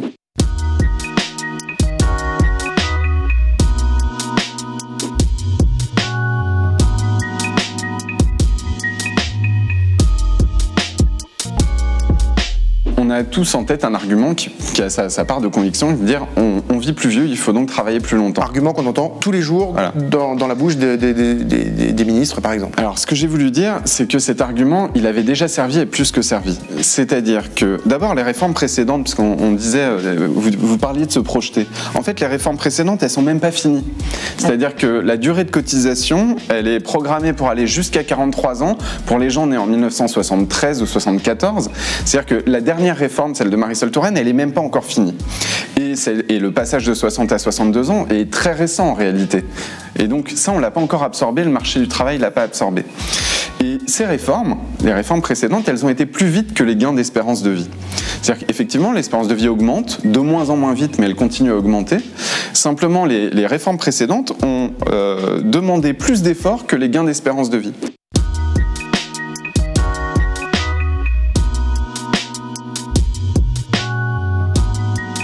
Le système n'est pas en danger.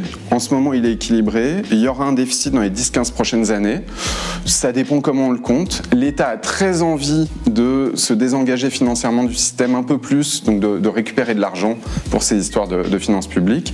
Et donc, il y a un déficit qui est prévu dans les 10-15 prochaines années.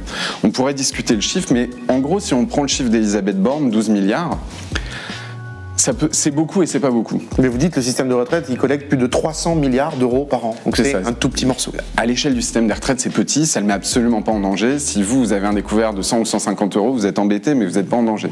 pour le système des retraites, c'est le même ordre de grandeur.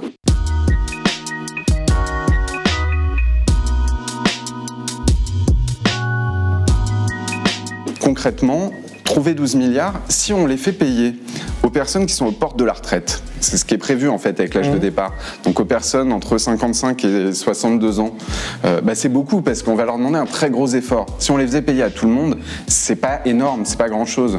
Il faudrait moins d'un point de cotisation pour trouver ces 12 milliards d'ici 2027.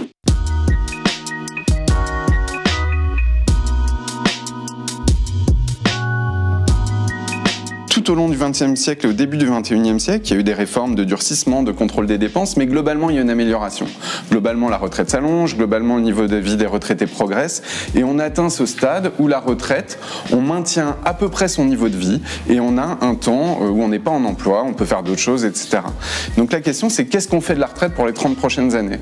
Et là, le projet du gouvernement, c'est de dire, bah, tant qu'il y en a qui peuvent encore servir, vous retournez au boulot. On raccourcit donc la période de retraite jusqu'au moment où on est sûr que vous puissiez plus servir. Et puis, euh, on va avoir aussi un risque de décrochage du niveau de vie des retraités. Et le sens de la réforme du gouvernement, c'est que non seulement ça s'est stabilisé, mais il voudrait que ça diminue plus vite. Mm. Et là, il y a vraiment un tournant historique si, si vraiment on suit ce chemin-là. Mm. Et ça, c'est un truc qui change, c'est-à-dire que le gouvernement aujourd'hui, il n'est pas en train d'essayer de contrôler l'explosion des dépenses, elles n'explosent pas, elles sont stables même à la baisse. Il est en train de dire, il faut descendre plus vite, il faut raccourcir davantage la durée de la retraite et euh, stabiliser en gros le montant des pensions.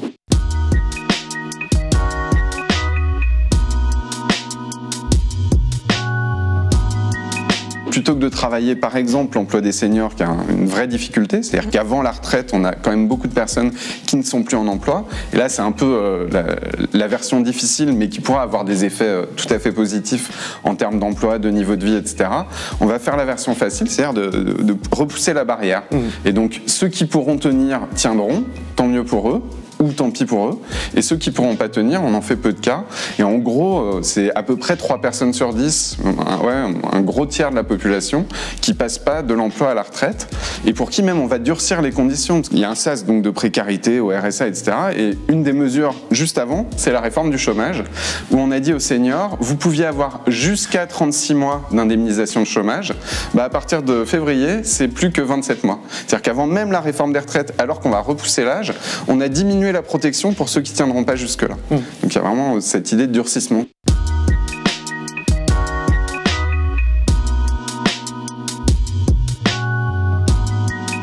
C'est pas une réforme qui vient d'un diagnostic sur le système des retraites. Le, gouvernement s'engage dans cette réforme en fait avec deux objectifs. Le premier, c'est en gros travailler plus pour produire plus. Il se dit, bah, ça mettra plus de gens sur le marché du travail, ça créera un peu plus de, de richesse, de PIB.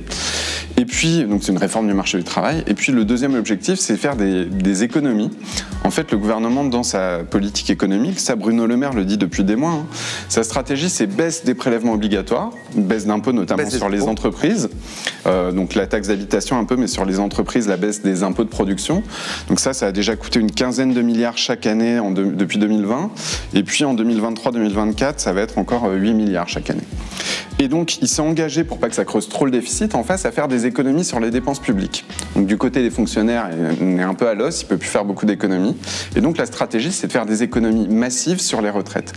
Et donc, la réforme des retraites, elle vient là. Il faut faire des économies sur les retraites pour équilibrer la baisse des impôts de production. C'est écrit tel quel dans le projet de loi de finances euh, de 2023. C'est écrit comme ça dans les documents transmis à la Commission européenne. Et du coup, la question des retraites, elle vient un peu dans la, voiture du passager, finalement. Mmh. Euh, au final, le gouvernement se tourne vers le système des retraites et essaye de, de, dealer avec ça, mais ça vient pas vraiment d'un diagnostic ni sur le travail, ni sur l'emploi des seniors, ni sur les conditions de départ à la retraite. Mediapart.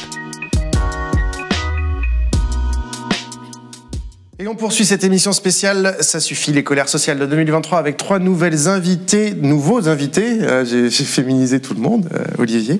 Euh, en ce moment, sur Mediapart, notre offre 4,93 euros par mois pour lire tout Mediapart. J'accueille Sophie Crozier, bonsoir. Vous êtes médecin neurologue, médecin hospitalière à la Pitié-Salpêtrière, membre du collectif Interhôpitaux qui est très mobilisé, notamment depuis la crise sanitaire, sur l'état de l'hôpital. Olivier, vous êtes contrôleur à la SNCF, habillé en contrôleur. Oui. Euh, vous descendez du train, on va dire. Euh, vous avez fait grève en décembre dernier, hein, cette grève des contrôleurs au moment de Noël, qui a été, euh, c'est vrai, mal prise par des, gens qui prenaient le train pour Noël. Vous allez nous expliquer. une grève pour les salaires, et on se rappelle évidemment de, ce mouvement. Amélie Siasia, bonsoir. Vous êtes professeur d'histoire-géographie au lycée Voilone d'Aulnay-sous-Bois en Seine-Saint-Denis. C'est un gros établissement en Seine-Saint-Denis, plus de 2000 élèves. Et avec d'autres collègues, vous avez alerté sur vos conditions de travail qu'on peut qualifier de déplorables, avec des bâtiments sans lumière et sans chauffage notamment. Mais euh, j'aimerais déjà vous faire rebondir avant de, rentrer, de vous écouter euh, sur, sur euh, vos, secteurs en particulier. sur le plateau précédent, on a parlé de beaucoup de choses. On a parlé de services publics, on a parlé de sens du travail, on a parlé de cette idée que c'était de plus en plus difficile d'imaginer aller jusqu'à l'âge qu'on nous propose quoi, pour faire son travail. Les, uns les autres, ça peut être des détails ou des, des grandes idées, qu'est-ce qui vous a frappé dans ce qu'on a entendu précédemment? Euh, ce qui m'a frappé, c'est notamment que le fait qu'il existe quantité de professions dans lesquelles la pénibilité du travail euh, n'est pas reconnue. Euh, ce qui m'a frappé aussi, c'est euh, la détermination avec laquelle ben, les personnes sur le plateau précédent ont, ont, cherché vraiment à mettre en lumière déjà leur travail, les conditions dans lesquelles il et les exercer, et euh, aussi des fois la passion euh, en fait que euh, ces professions leur procuraient. Et pour terminer aussi, le fait que finalement, malgré la diversité des secteurs et des métiers, beaucoup de choses nous réunissent. Mmh. Et on, on, se rejoint notamment en tant que professeur à la question de la dégradation des conditions de travail, la question de l'épuisement, de la lassitude. oui, ça c'est quelque chose qui est constitutif aussi de mon métier. Olivier? Euh, Un constat terrible. Euh, quand j'entends euh, l'aide de domicile parler, ça bouleverse. Je veux dire, c'est des mystiques qui sont très difficiles. Très difficiles, pas reconnus, pas payés. terrible. Terrible. Le, travail à la chaîne, pareil, très, très pénible, pas reconnu, très difficile. le milieu du travail très, très hostile aujourd'hui, mmh. je pense. Sophie Crozier, vous, vous mobilisez aussi, vous, toute la journée, vous travaillez à l'hôpital et aussi vous, vous mobilisez pour la défense de l'hôpital public.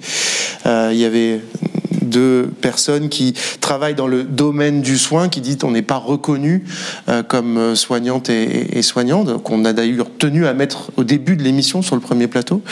Euh, voilà, elle disait des choses très fortes.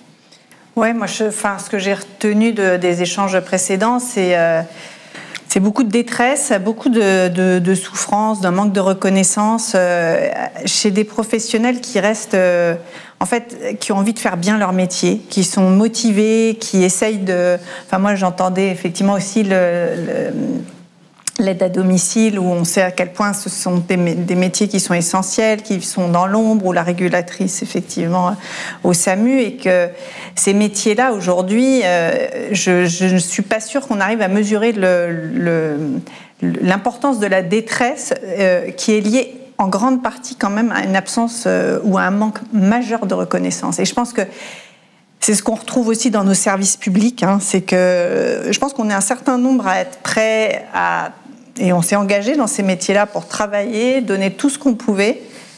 euh, y compris pour euh, voilà, une grande majorité avec des salaires qui sont des, salaires très bas, avec quand même pour beaucoup aussi assez peu d'espoir d'aller jusqu'à 60 ans dans nos métiers parce qu'on s'épuise avant. Ça aussi, vous le ressentez, vous Ah oui. Alors, je pense c'est moi en tant que médecin c'est beaucoup moins présent mais les infirmières les aides-soignants les kinés les orthophonistes je, je, voilà non je pense qu'il y en aura enfin là aujourd'hui je, je, suis je suis très inquiète sur le fait qu'effectivement il y en ait beaucoup qui n'arrivent pas jusqu'à cet âge-là. Et, il y en a beaucoup qui partent aujourd'hui. Enfin, c'est un constat majeur, qui partent au bout de 3-4 ans d'expérience professionnelle, alors qu'on s'est engagé à. Faire tout le monde fait le même constat ce soir. C'est-à-dire ah qu'en fait, on est tous dans, vous parlez tous de métiers que les gens abandonnent au bout de 2 heures, 6 mois ou 2 ans. Voilà, et voilà. Mais aussi parce qu'il y a un manque de reconnaissance. Et bon, le manque de reconnaissance, on va en reparler, hein, mais je pense qu'il y a un manque de reconnaissance qui passe aussi par une revalorisation des salaires dans quel, enfin voilà, moi je, me pose vraiment la question de savoir dans notre société, en fait, qu'est-ce qu'on qu'est-ce qu'on considère comme important, comment, qu'est-ce qu'on valorise, parce qu'en fait, le, salaire c'est quand même une façon de valoriser tous ces métiers. Mmh. Et moi, je, pense qu'on vit ça depuis quelque temps, de toutes ces crises aussi sociales, c'est-à-dire que on, le vit comme un mépris en réalité. C'est un véritable mépris de, de nos professions euh, soignantes, enseignantes, euh, voilà, euh, de, tous les métiers de service, que ce soit, bah oui, la RATP, la mmh. SNCF. il y a beaucoup de, de personnes qui qui aujourd'hui sont, sont, manquent vraiment cruellement de reconnaissance. Cette question de l'arrivée à la retraite, vous, Marie-Lise, comment vous la voyez? Vous êtes une jeune professeure d'histoire géo. Euh, vous, vous êtes, euh, je crois, même pas directement concernée par cette réforme-là. Vous serez concernée par les réformes qui viendront après. C'est comme moi, c'est-à-dire qu'en fait, on en attend d'autres après. Euh, qu'est-ce que vous vous dites quoi? Vous dites, moi, c'est retraite à 70 ans, c'est ça mon, objet, mon, mon, le, ce qui se dessine devant moi? Oui, bien sûr. Bah, on en parlait tout à l'heure avec certains, certaines collègues et, et je disais quelque chose du type alors, mais moi, je ne vois pas encore faire 30 ans à travailler dans des conditions euh, dégradées, être debout, devoir finalement supporter aussi des transports quotidiens qui sont malheureusement tellement aléatoires en Ile-de-France. On en a parlé tout à l'heure. Mmh. Finalement, en plus, je travaille dans un, dans un établissement scolaire qui est extrêmement étendu, vraiment plusieurs hectares, et je me suis dit, mais dans 30 ans, passer d'un bâtiment à l'autre, euh, éviter les élèves dans les couloirs, le décalage aussi euh, qui s'installe, qu'on le veuille ou non, avec l'âge entre euh, nos élèves adolescents, adolescentes et nous-mêmes. Et, et, je me suis dit non. J'ai beaucoup de mal à me projeter en fait dans un avenir où potentiellement il me resterait près de 40 ans encore de travail. Euh, non, c'est dur. Et puis, tout à l'heure, on parlait d'épuisement. Euh, c'est vrai que j'ai l'impression que depuis quelques années, euh, ce mot est devenu le, maître mot en fait, euh, mm. qui traverse nos carrières, nos métiers. là, typiquement, on était en vacances il n'y a pas si longtemps. Hein. nous, en tant que professeurs, on est déjà exsangue, on est déjà épuisé. Et depuis voilà quelques jours, à chaque fois que je croise des collègues, c'est le même constat qu'on fait. Et on se dit bon ben, on attend finalement le repos entre guillemets escompté dans, enfin les prochaines vacances, mais qui seront encore des temps où on va en profiter pour organiser notre cours, euh, et nos cours et nos vies. Donc euh, oui, cette question de l'épuisement, euh, elle est devenue finalement pareil, centrale, je trouve, mmh. dans nos métiers. Mmh. Olivier, vous allez manifester, vous mobiliser, faire grève pour la réforme des retraites, vous, contre la réforme des retraites? Les cheminots vont se mobiliser, c'est certain. Euh, historiquement, on a toujours été euh, mhm. partie prenante dans, les, dans toutes les manifestations. Euh, on a toujours été un moteur, la SNCF, dans les manifestations. Pour autant, aujourd'hui, le sentiment est mitigé malgré tout. Donc, une mobilisation, il va y avoir, mais je pense qu'elle va se faire en, en, deux temps chez nous à la SNCF. Pour imaginer un petit peu, parce que euh, on a beaucoup été décrié sur les, sur bah, nous notre dernier conflit. La grève de décembre. De décembre. Donc nous les, chefs de bord, mais au-delà de, de, la, de la grève que nous on a, on a portée, euh, il y a les autres cheminots et, d'une manière générale le cheminot s'était un petit peu épuisé et les mentalités ont, ont aussi changé. Et donc à force d'avoir été décrié dans les médias euh, par rapport à toutes les grèves qu'on a pu faire aujourd'hui, donc demain le 19 il y aura beaucoup de cheminots mobilisés, mais pas la majeure partie. Donc, euh, euh, je pense que dans un premier temps, il y a beaucoup de collègues, euh, dans quelques métiers que ce soit à la SNCF, sont en attente de voir hmm. si le public va bouger et, les, vents vont, les, rangs vont se gonfler au fur et à mesure des, des semaines. Marie-Lys, votre lycée, c'est un gros établissement scolaire, je l'ai dit, donc à Aulnay. Hmm. c'est un contexte social qui n'est pas toujours simple, à celle de Saint-Denis, évidemment. Alors, il se trouve qu'en décembre, il a été au cœur de l'actualité, mais alors de façon éruptive, on va dire. Euh, ça a commencé d'une façon pourtant très simple. Euh, collectivement, les profs du lycée, euh, vous avez commencé à documenter la vétusté de l'établissement. Ce sont des photos qui ont été prises par vos collègues au début du mois de décembre. On voit des toilettes qui sont vraiment dans un très sale état, des plafonds qui tombent, des fenêtres ravagées qui ne s'ouvrent plus depuis des lustres, des locaux glaciaux. D'ailleurs, vous avez même posé des thermomètres pour le prouver, 7 degrés, 12 degrés. Là, on atteint 14 degrés, mais on est dans une salle de classe. Euh, et même à certains moments, vous avez fait cours dans le noir. Il y a eu des photos aussi de cours qui se passaient dans le noir. Ces photos, elles ont attiré l'attention médiatique. Euh, il y a eu un, emballement médiatique, totalement justifié sur une situation justifiée, à tel point que tout de suite, le ministre de l'Éducation nationale, Papendiaï, euh, est venu en convoquant sur place le 13 décembre la présidente de la région Île-de-France qui est responsable de l'entretien des locaux. Ils sont venus tous les deux sur place, ils vous ont rencontré, je crois que vous n'étiez pas très loin. Euh, visite à la suite de laquelle des travaux ont été annoncés. Euh, alors j'imagine que ça a été euh, intense, tout cet emballement médiatique autour de votre cas évidemment, mais surtout là où c'est intéressant, c'était une situation sur laquelle vous alertiez en réalité depuis des années. Oui, euh, totalement. Euh, certaines euh, collègues ont eu en plus déjà la gentillesse et surtout elles ont eu la bonne idée de d'aller en fait à la recherche de tous ces courriers envoyés par voie par voie protocolaire, notamment à la région. Et donc, en fait, ce sont des années euh, de courriers euh, qu'on a pu retrouver. Euh, de la même manière, les comptes rendus des conseils d'administration du lycée ont été retrouvés. Il est fait mention à plusieurs reprises ben, de tous les dysfonctionnements qui sont mentionnés. Alors, ce sont des dysfonctionnements donc qui renvoient d'abord à des problèmes d'ordre matériel, donc le, les fenêtres qui ne ferment pas, l'absence de porte des fois, de, de, euh, les problèmes dans les toilettes. Euh, vraiment, choses de base. Exactement. Et puis vraiment la, la vétusté euh, de l'établissement et notamment d'un des bâtiments qui n'a pas été rénové depuis plusieurs années déjà, euh, c'est quelque chose qui, pareil, caractérise en fait euh, notre établissement.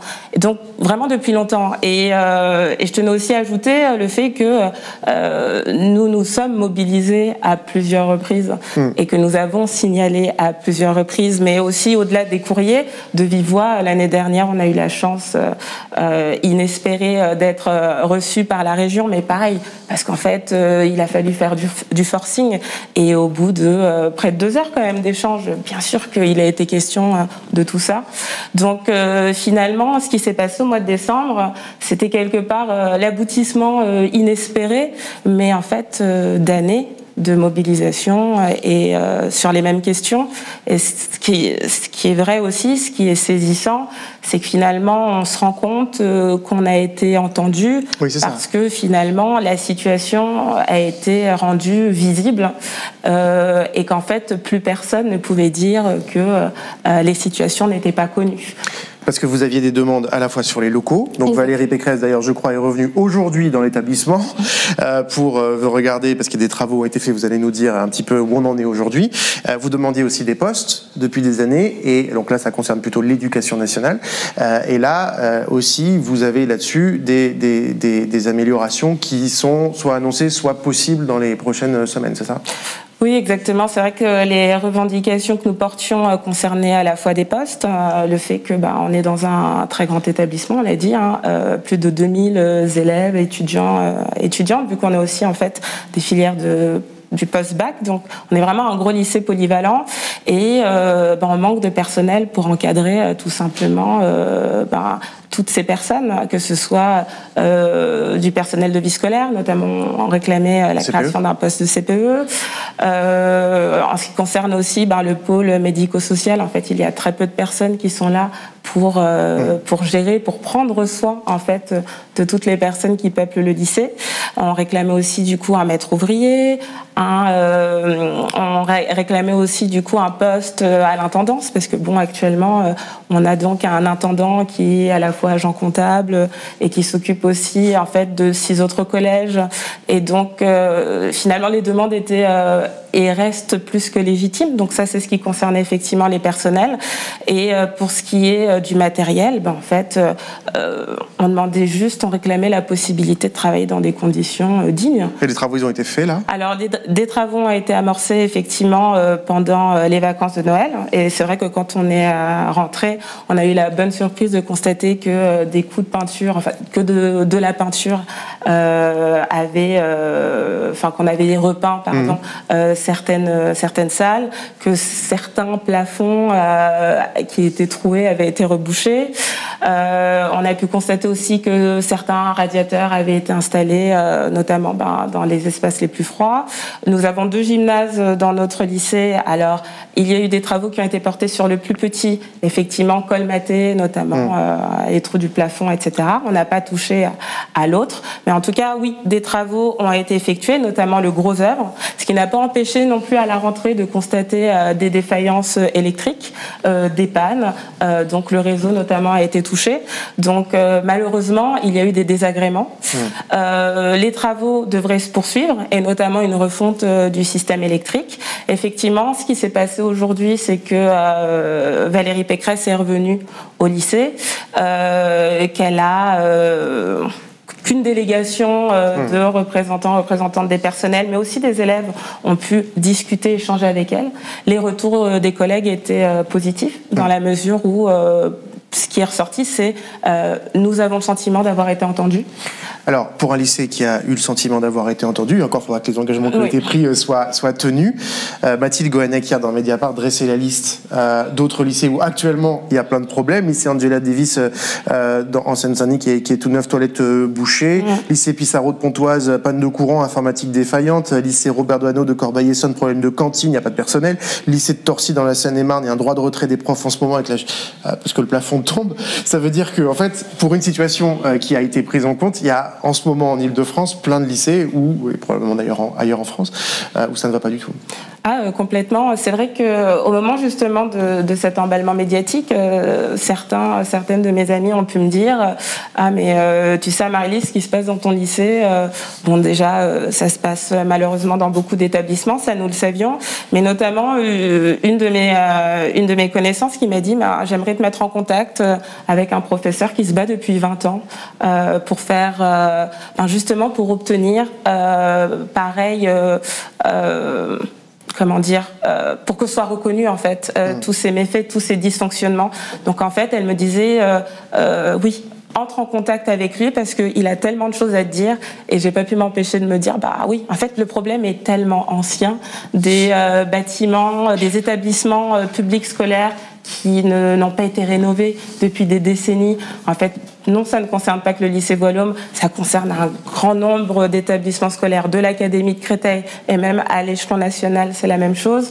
Euh, on ne peut pas s'empêcher de se dire aussi euh, à Voilhomme que finalement, encore une fois, on a été entendu, on nous a fait des promesses, mais parce que en fait, euh, on a été tellement euh, visibilisé dans euh, quantité de médias en fait que sont la radio. Pendant 24 heures, on en, on en, a parlé partout. Sophie Crozier, euh, évidemment, vous travaillez dans des secteurs très différents, mais c'est le service public. moi, j'ai l'impression qu'il y a pas mal de correspondance entre ce que décrit Amaryllis à l'école et, ce pourquoi vous vous battez au, au quotidien. Ah oui, alors complètement et à plein de niveaux. C'est-à-dire que bon, ce que je retiens déjà, c'est vraiment la question de, de, ce mot de dégradé, de dégradation des locaux. De, nous, on, est, on parle aujourd'hui beaucoup de procédures dégradées parce que le manque de moyens conduit à des procédures dégradées. Enfin, moi, je trouve ça absolument dramatique. On est dans un pays euh, où on est, en tant qu'acteur travaillant dans les services publics, obligé de se battre, parce que vous avez utilisé plusieurs fois ce mot, tout le monde utilise ce mot, on se bat, voilà, tous, pour pouvoir faire, continuer à faire nos métiers de façon digne, et en plus dans des, dans, des, dans des métiers qui sont quand même essentiels, parce que éduquer des enfants, il me semble que c'est important pour une société, soigner des personnes également. Enfin, je, trouve ça vraiment absolument dramatique. C'est le résultat de politiques de, de, voilà, de politiques et de politiques de santé et d'éducation qui sont quand même des politiques d'austérité depuis des années, qui ont conduit à des, vraiment à des restrictions qui sont telles que on est mais vraiment là aujourd'hui dans une situation de déliquescence de nos services publics qui, est quand même extrêmement inquiétante. Emmanuel Macron, il y a quelques jours, il a dit je vais prendre ça y est, on, s'occupe de l'hôpital, j'arrête la tarification à l'acte, euh, on passe une nouvelle euh, phase. Vous y, vous y croyez pas? Qu'est-ce qui se passe aujourd'hui à l'hôpital, sachant qu'on a beaucoup parlé de l'hôpital ces dernières années? Là, qu'est-ce qui, qu'est-ce qui aujourd'hui, ce que vous décriviez il y a deux ans au moment du Covid, c'est pareil, c'est pire alors c'est bien pire, c'est bien pire parce qu'en fait, euh, je pense qu'il y a eu des attentes aussi après le Covid, parce que les soignants, l'hôpital public a répond, enfin, ont répondu présent, ont été là et ont eu une forme de, reconnaissance, en tout cas de la part des citoyens. Euh, il y a eu des mots qui ont été dits par Emmanuel Macron. la santé doit sortir des lois du marché on est toujours dans un système où, en fait, l'objectif principal, c'est la rentabilité, c'est de pouvoir faire que nos, hôpitaux soient à l'équilibre. Quand vous parliez de la dégradation des locaux, mais on a la même chose à l'hôpital. Moi, les plafonds qui tombent, etc., et dans les services, pas n'importe quel service non plus, mais il y a quand même beaucoup de services où c'est comme ça. Vous prenez la psychiatrie, c'est aussi, je pense que c'est important de voir qu'elle enfin, ce qui, est important aujourd'hui et ce à quoi on attache euh, et hmm. ce à quoi à qui on donne des moyens. On a des services de pédopsychiatrie qui ont exactement la même histoire avec des plafonds qui sont qui s'effondrent avec euh, des, signalements qui sont faits depuis des années par les professionnels disant ça va, ça va mal, ça, va mal se finir, ça va finir par s'écrouler. C'est ce qui s'est passé à Noël. Donc ça, c'est véridique. Il y a eu exactement la même histoire.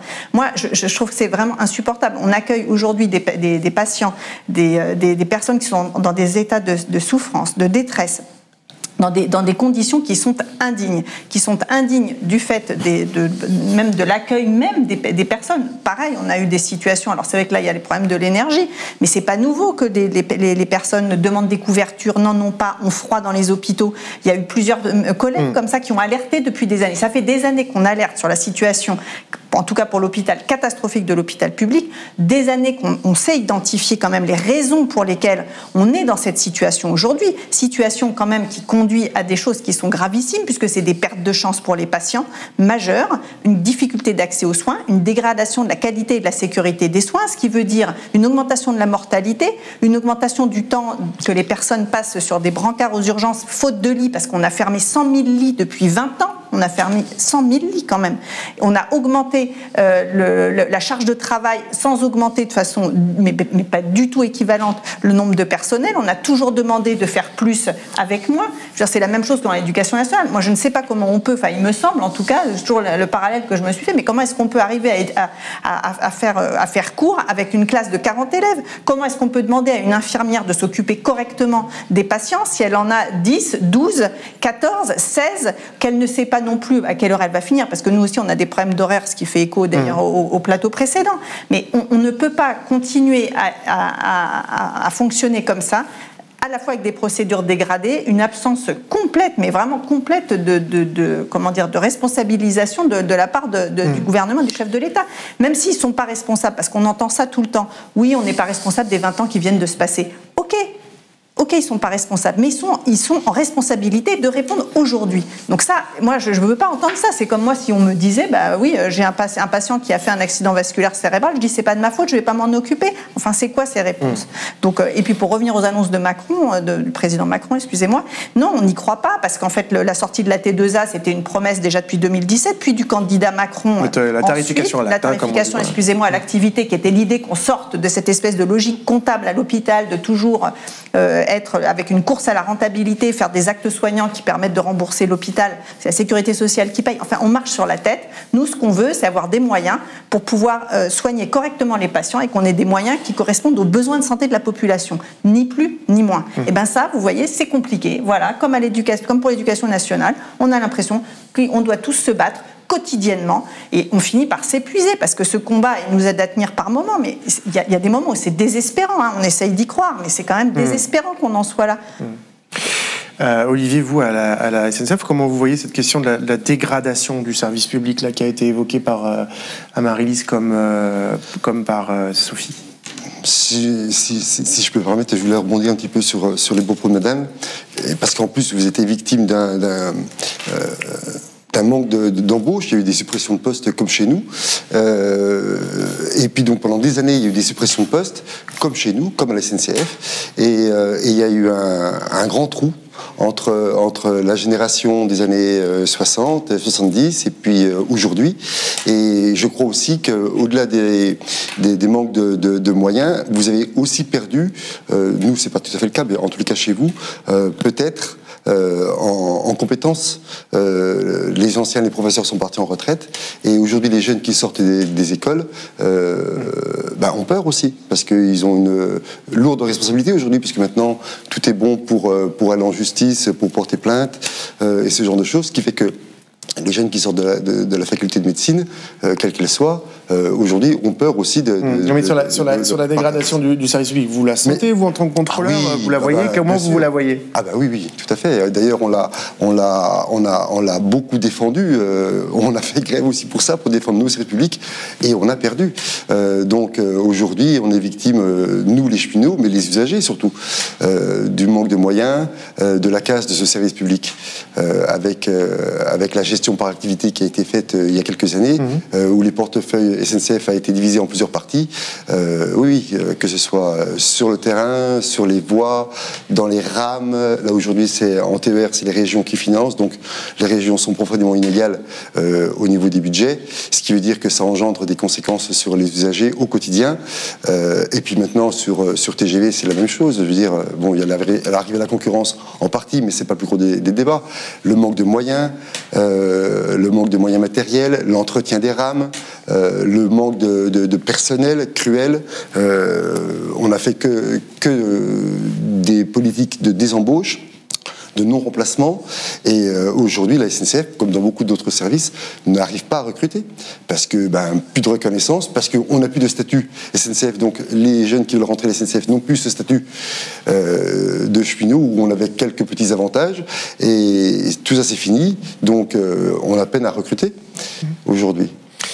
Vous témoignez ce soir sans qu'on donne votre nom de famille. Je rappelle, vous avez mobilisé, vous avez été euh, engagé dans cette grève de, décembre, oui. euh, qui a été donc à l'initiative d'un collectif qui s'appelle ASCT pour euh, agents du service commercial train, jargon SNCF, c'est-à-dire les chefs de bord comme vous.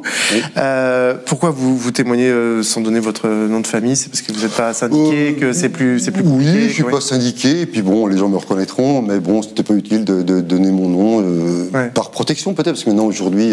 Via les réseaux sociaux. J'ai pas envie non plus d'être embêté euh, éventuellement.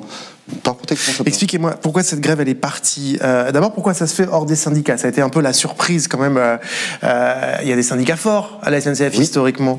C'était quoi? C'était une revendication pour les salaires? Ça veut dire qu'ils revendiquent, ils, défendaient pas vos revendications. C'était pas assez. vous vouliez taper du poing sur la table. Vous vouliez obtenir quelque chose de plus fort, c'est ça? C'est ça. Parce que beaucoup de gens n'ont pas compris, c'est-à-dire ce, mouvement, ils n'ont pas, l'ont pas vu venir, et du coup, n'arrivaient même pas trop à l'expliquer. Oui. expliquez-nous. L'entreprise l'a vu venir. Donc en fait, euh, d'une manière générale, les, cheminots ne se reconnaissent plus forcément dans les, syndicats, euh, et donc à force de cahiers revendicatifs, quelles que soient les organisations syndicales, euh, nous les cheminots, on s'y perdait un petit peu.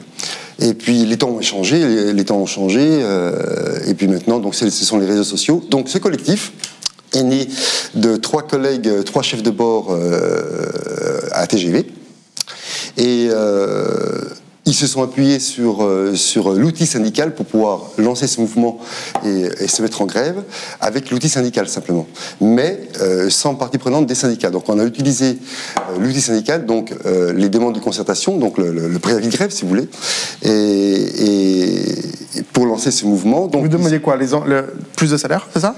Dans un premier temps, on demandait donc une reconnaissance. Donc oui, il y avait une demande d'augmentation de, salaire. Encore le mot reconnaissance. Reconnaissance, c'est important parce qu'en fait, nous, les contrôleurs, on n'est pas reconnu comme, euh, comme roulant.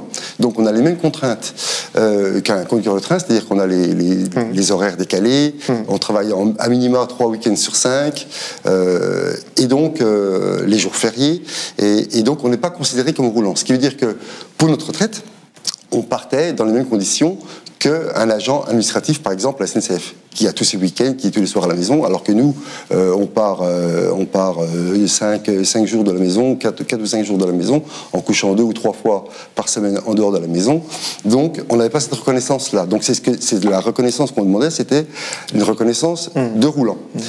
Donc, qu'est-ce qu'on demandait? On a demandé donc des augmentations de salaire, évidemment. On a demandé euh, qu'une partie de nos primes soit intégrée à notre salaire, puisque nos primes à ça compte dans la retraite.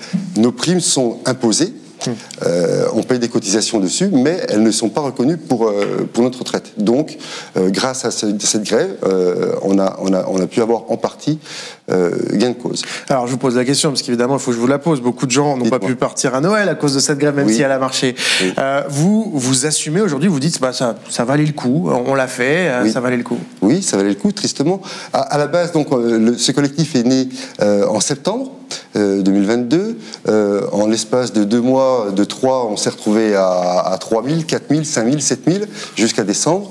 Le, euh, la direction donc a eu euh, mot donc de, de, ce mouvement mmh. social un mois en amont, donc c'est-à-dire que la demande de concertation immédiate a été posée un mois avant.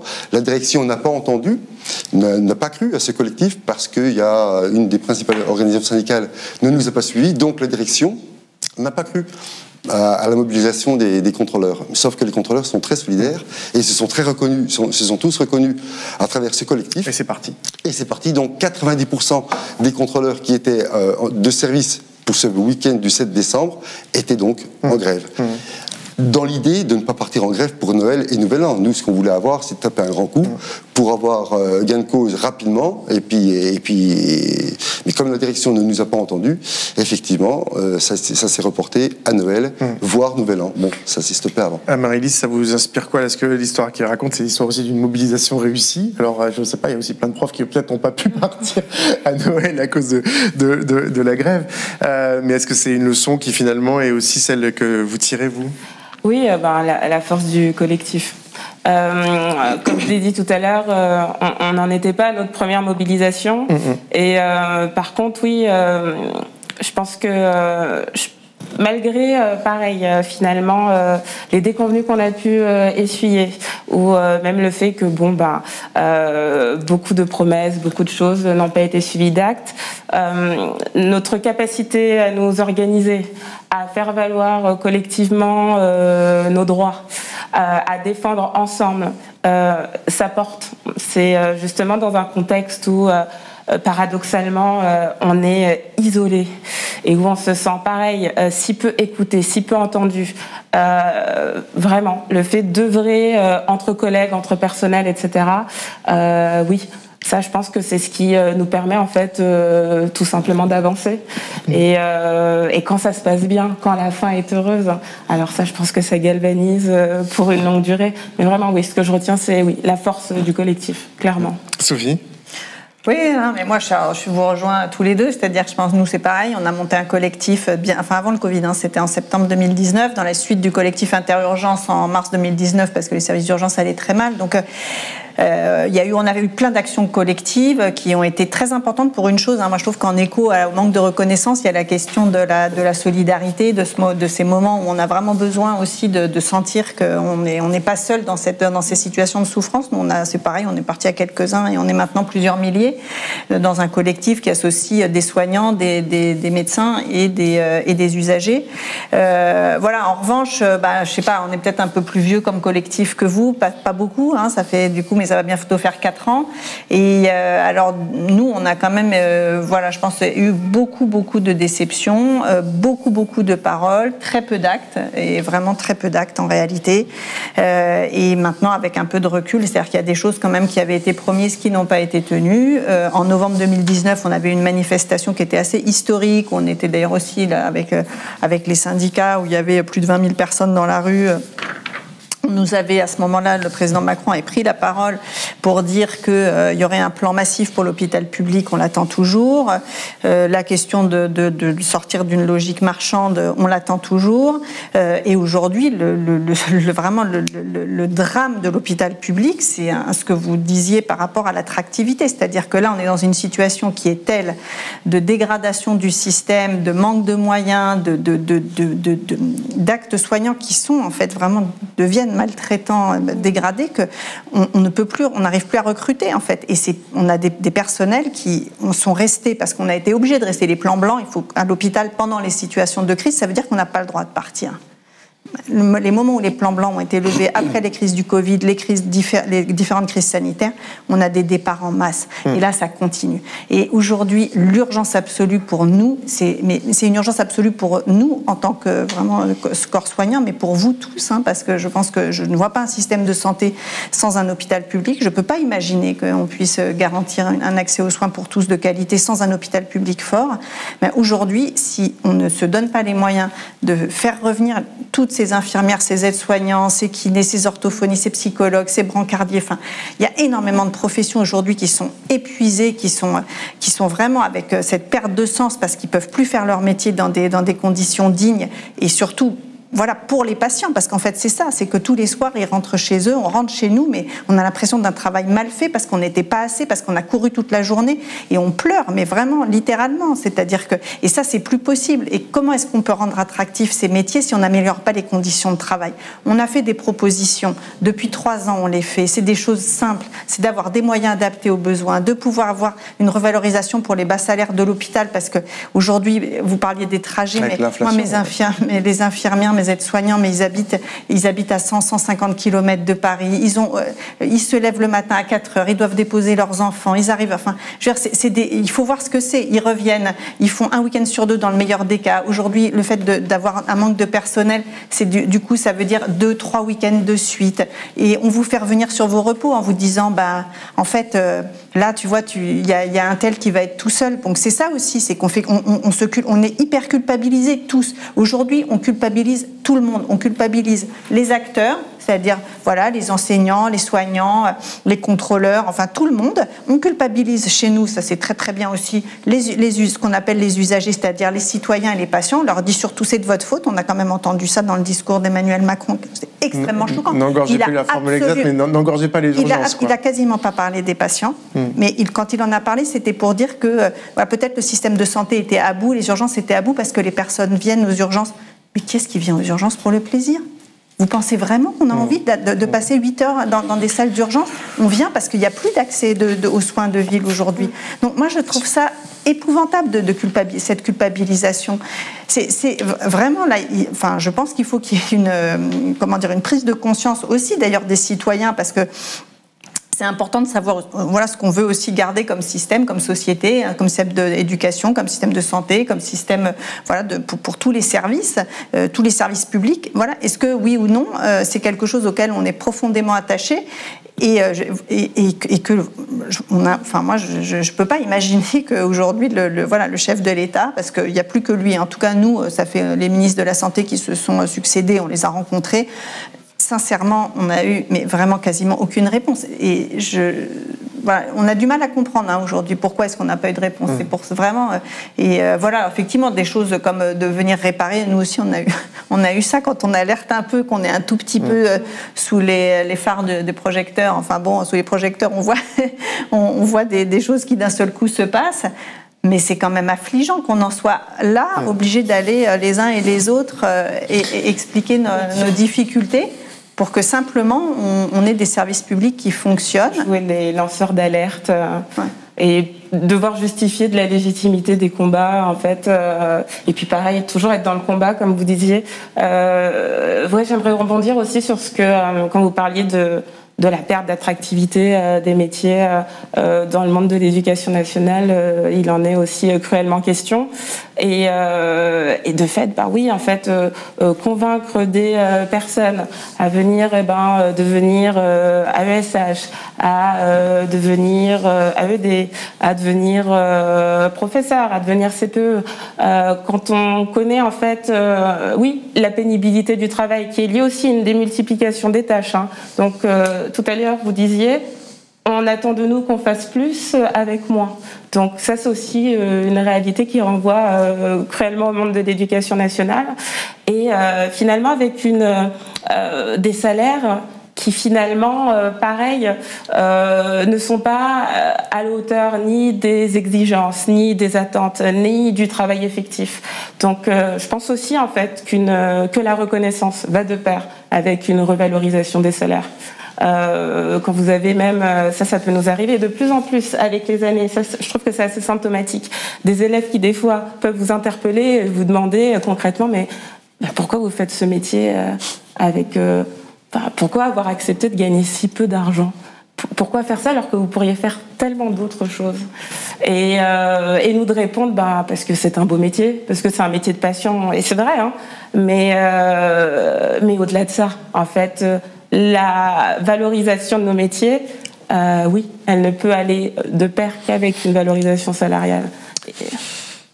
Merci beaucoup à toutes les trois. Je crois qu'il y a un message hein, ce soir, c'est pénibilité, travail, reconnaissance. Voilà, je crois que là, ce, soir, le message est passé euh, pour le gouvernement qui pourtant persiste sur cette réforme des retraites. Merci beaucoup encore. Merci aux journalistes de la rédaction qui m'ont aidé à préparer cette émission. Merci spécial aussi à Vincent Jarousseau. Il saura pourquoi. Merci de nous avoir suivis. Lisez Mediapart où les questions sociales, l'enjeu des retraites sont suivis chaque jour par les journalistes de la rédaction. N'oubliez pas, bien sûr, de vous abonner. L'offre s'affiche pendant que je en bas de l'écran. Abonnez-vous en force. Bonne soirée, à très vite sur Mediapart.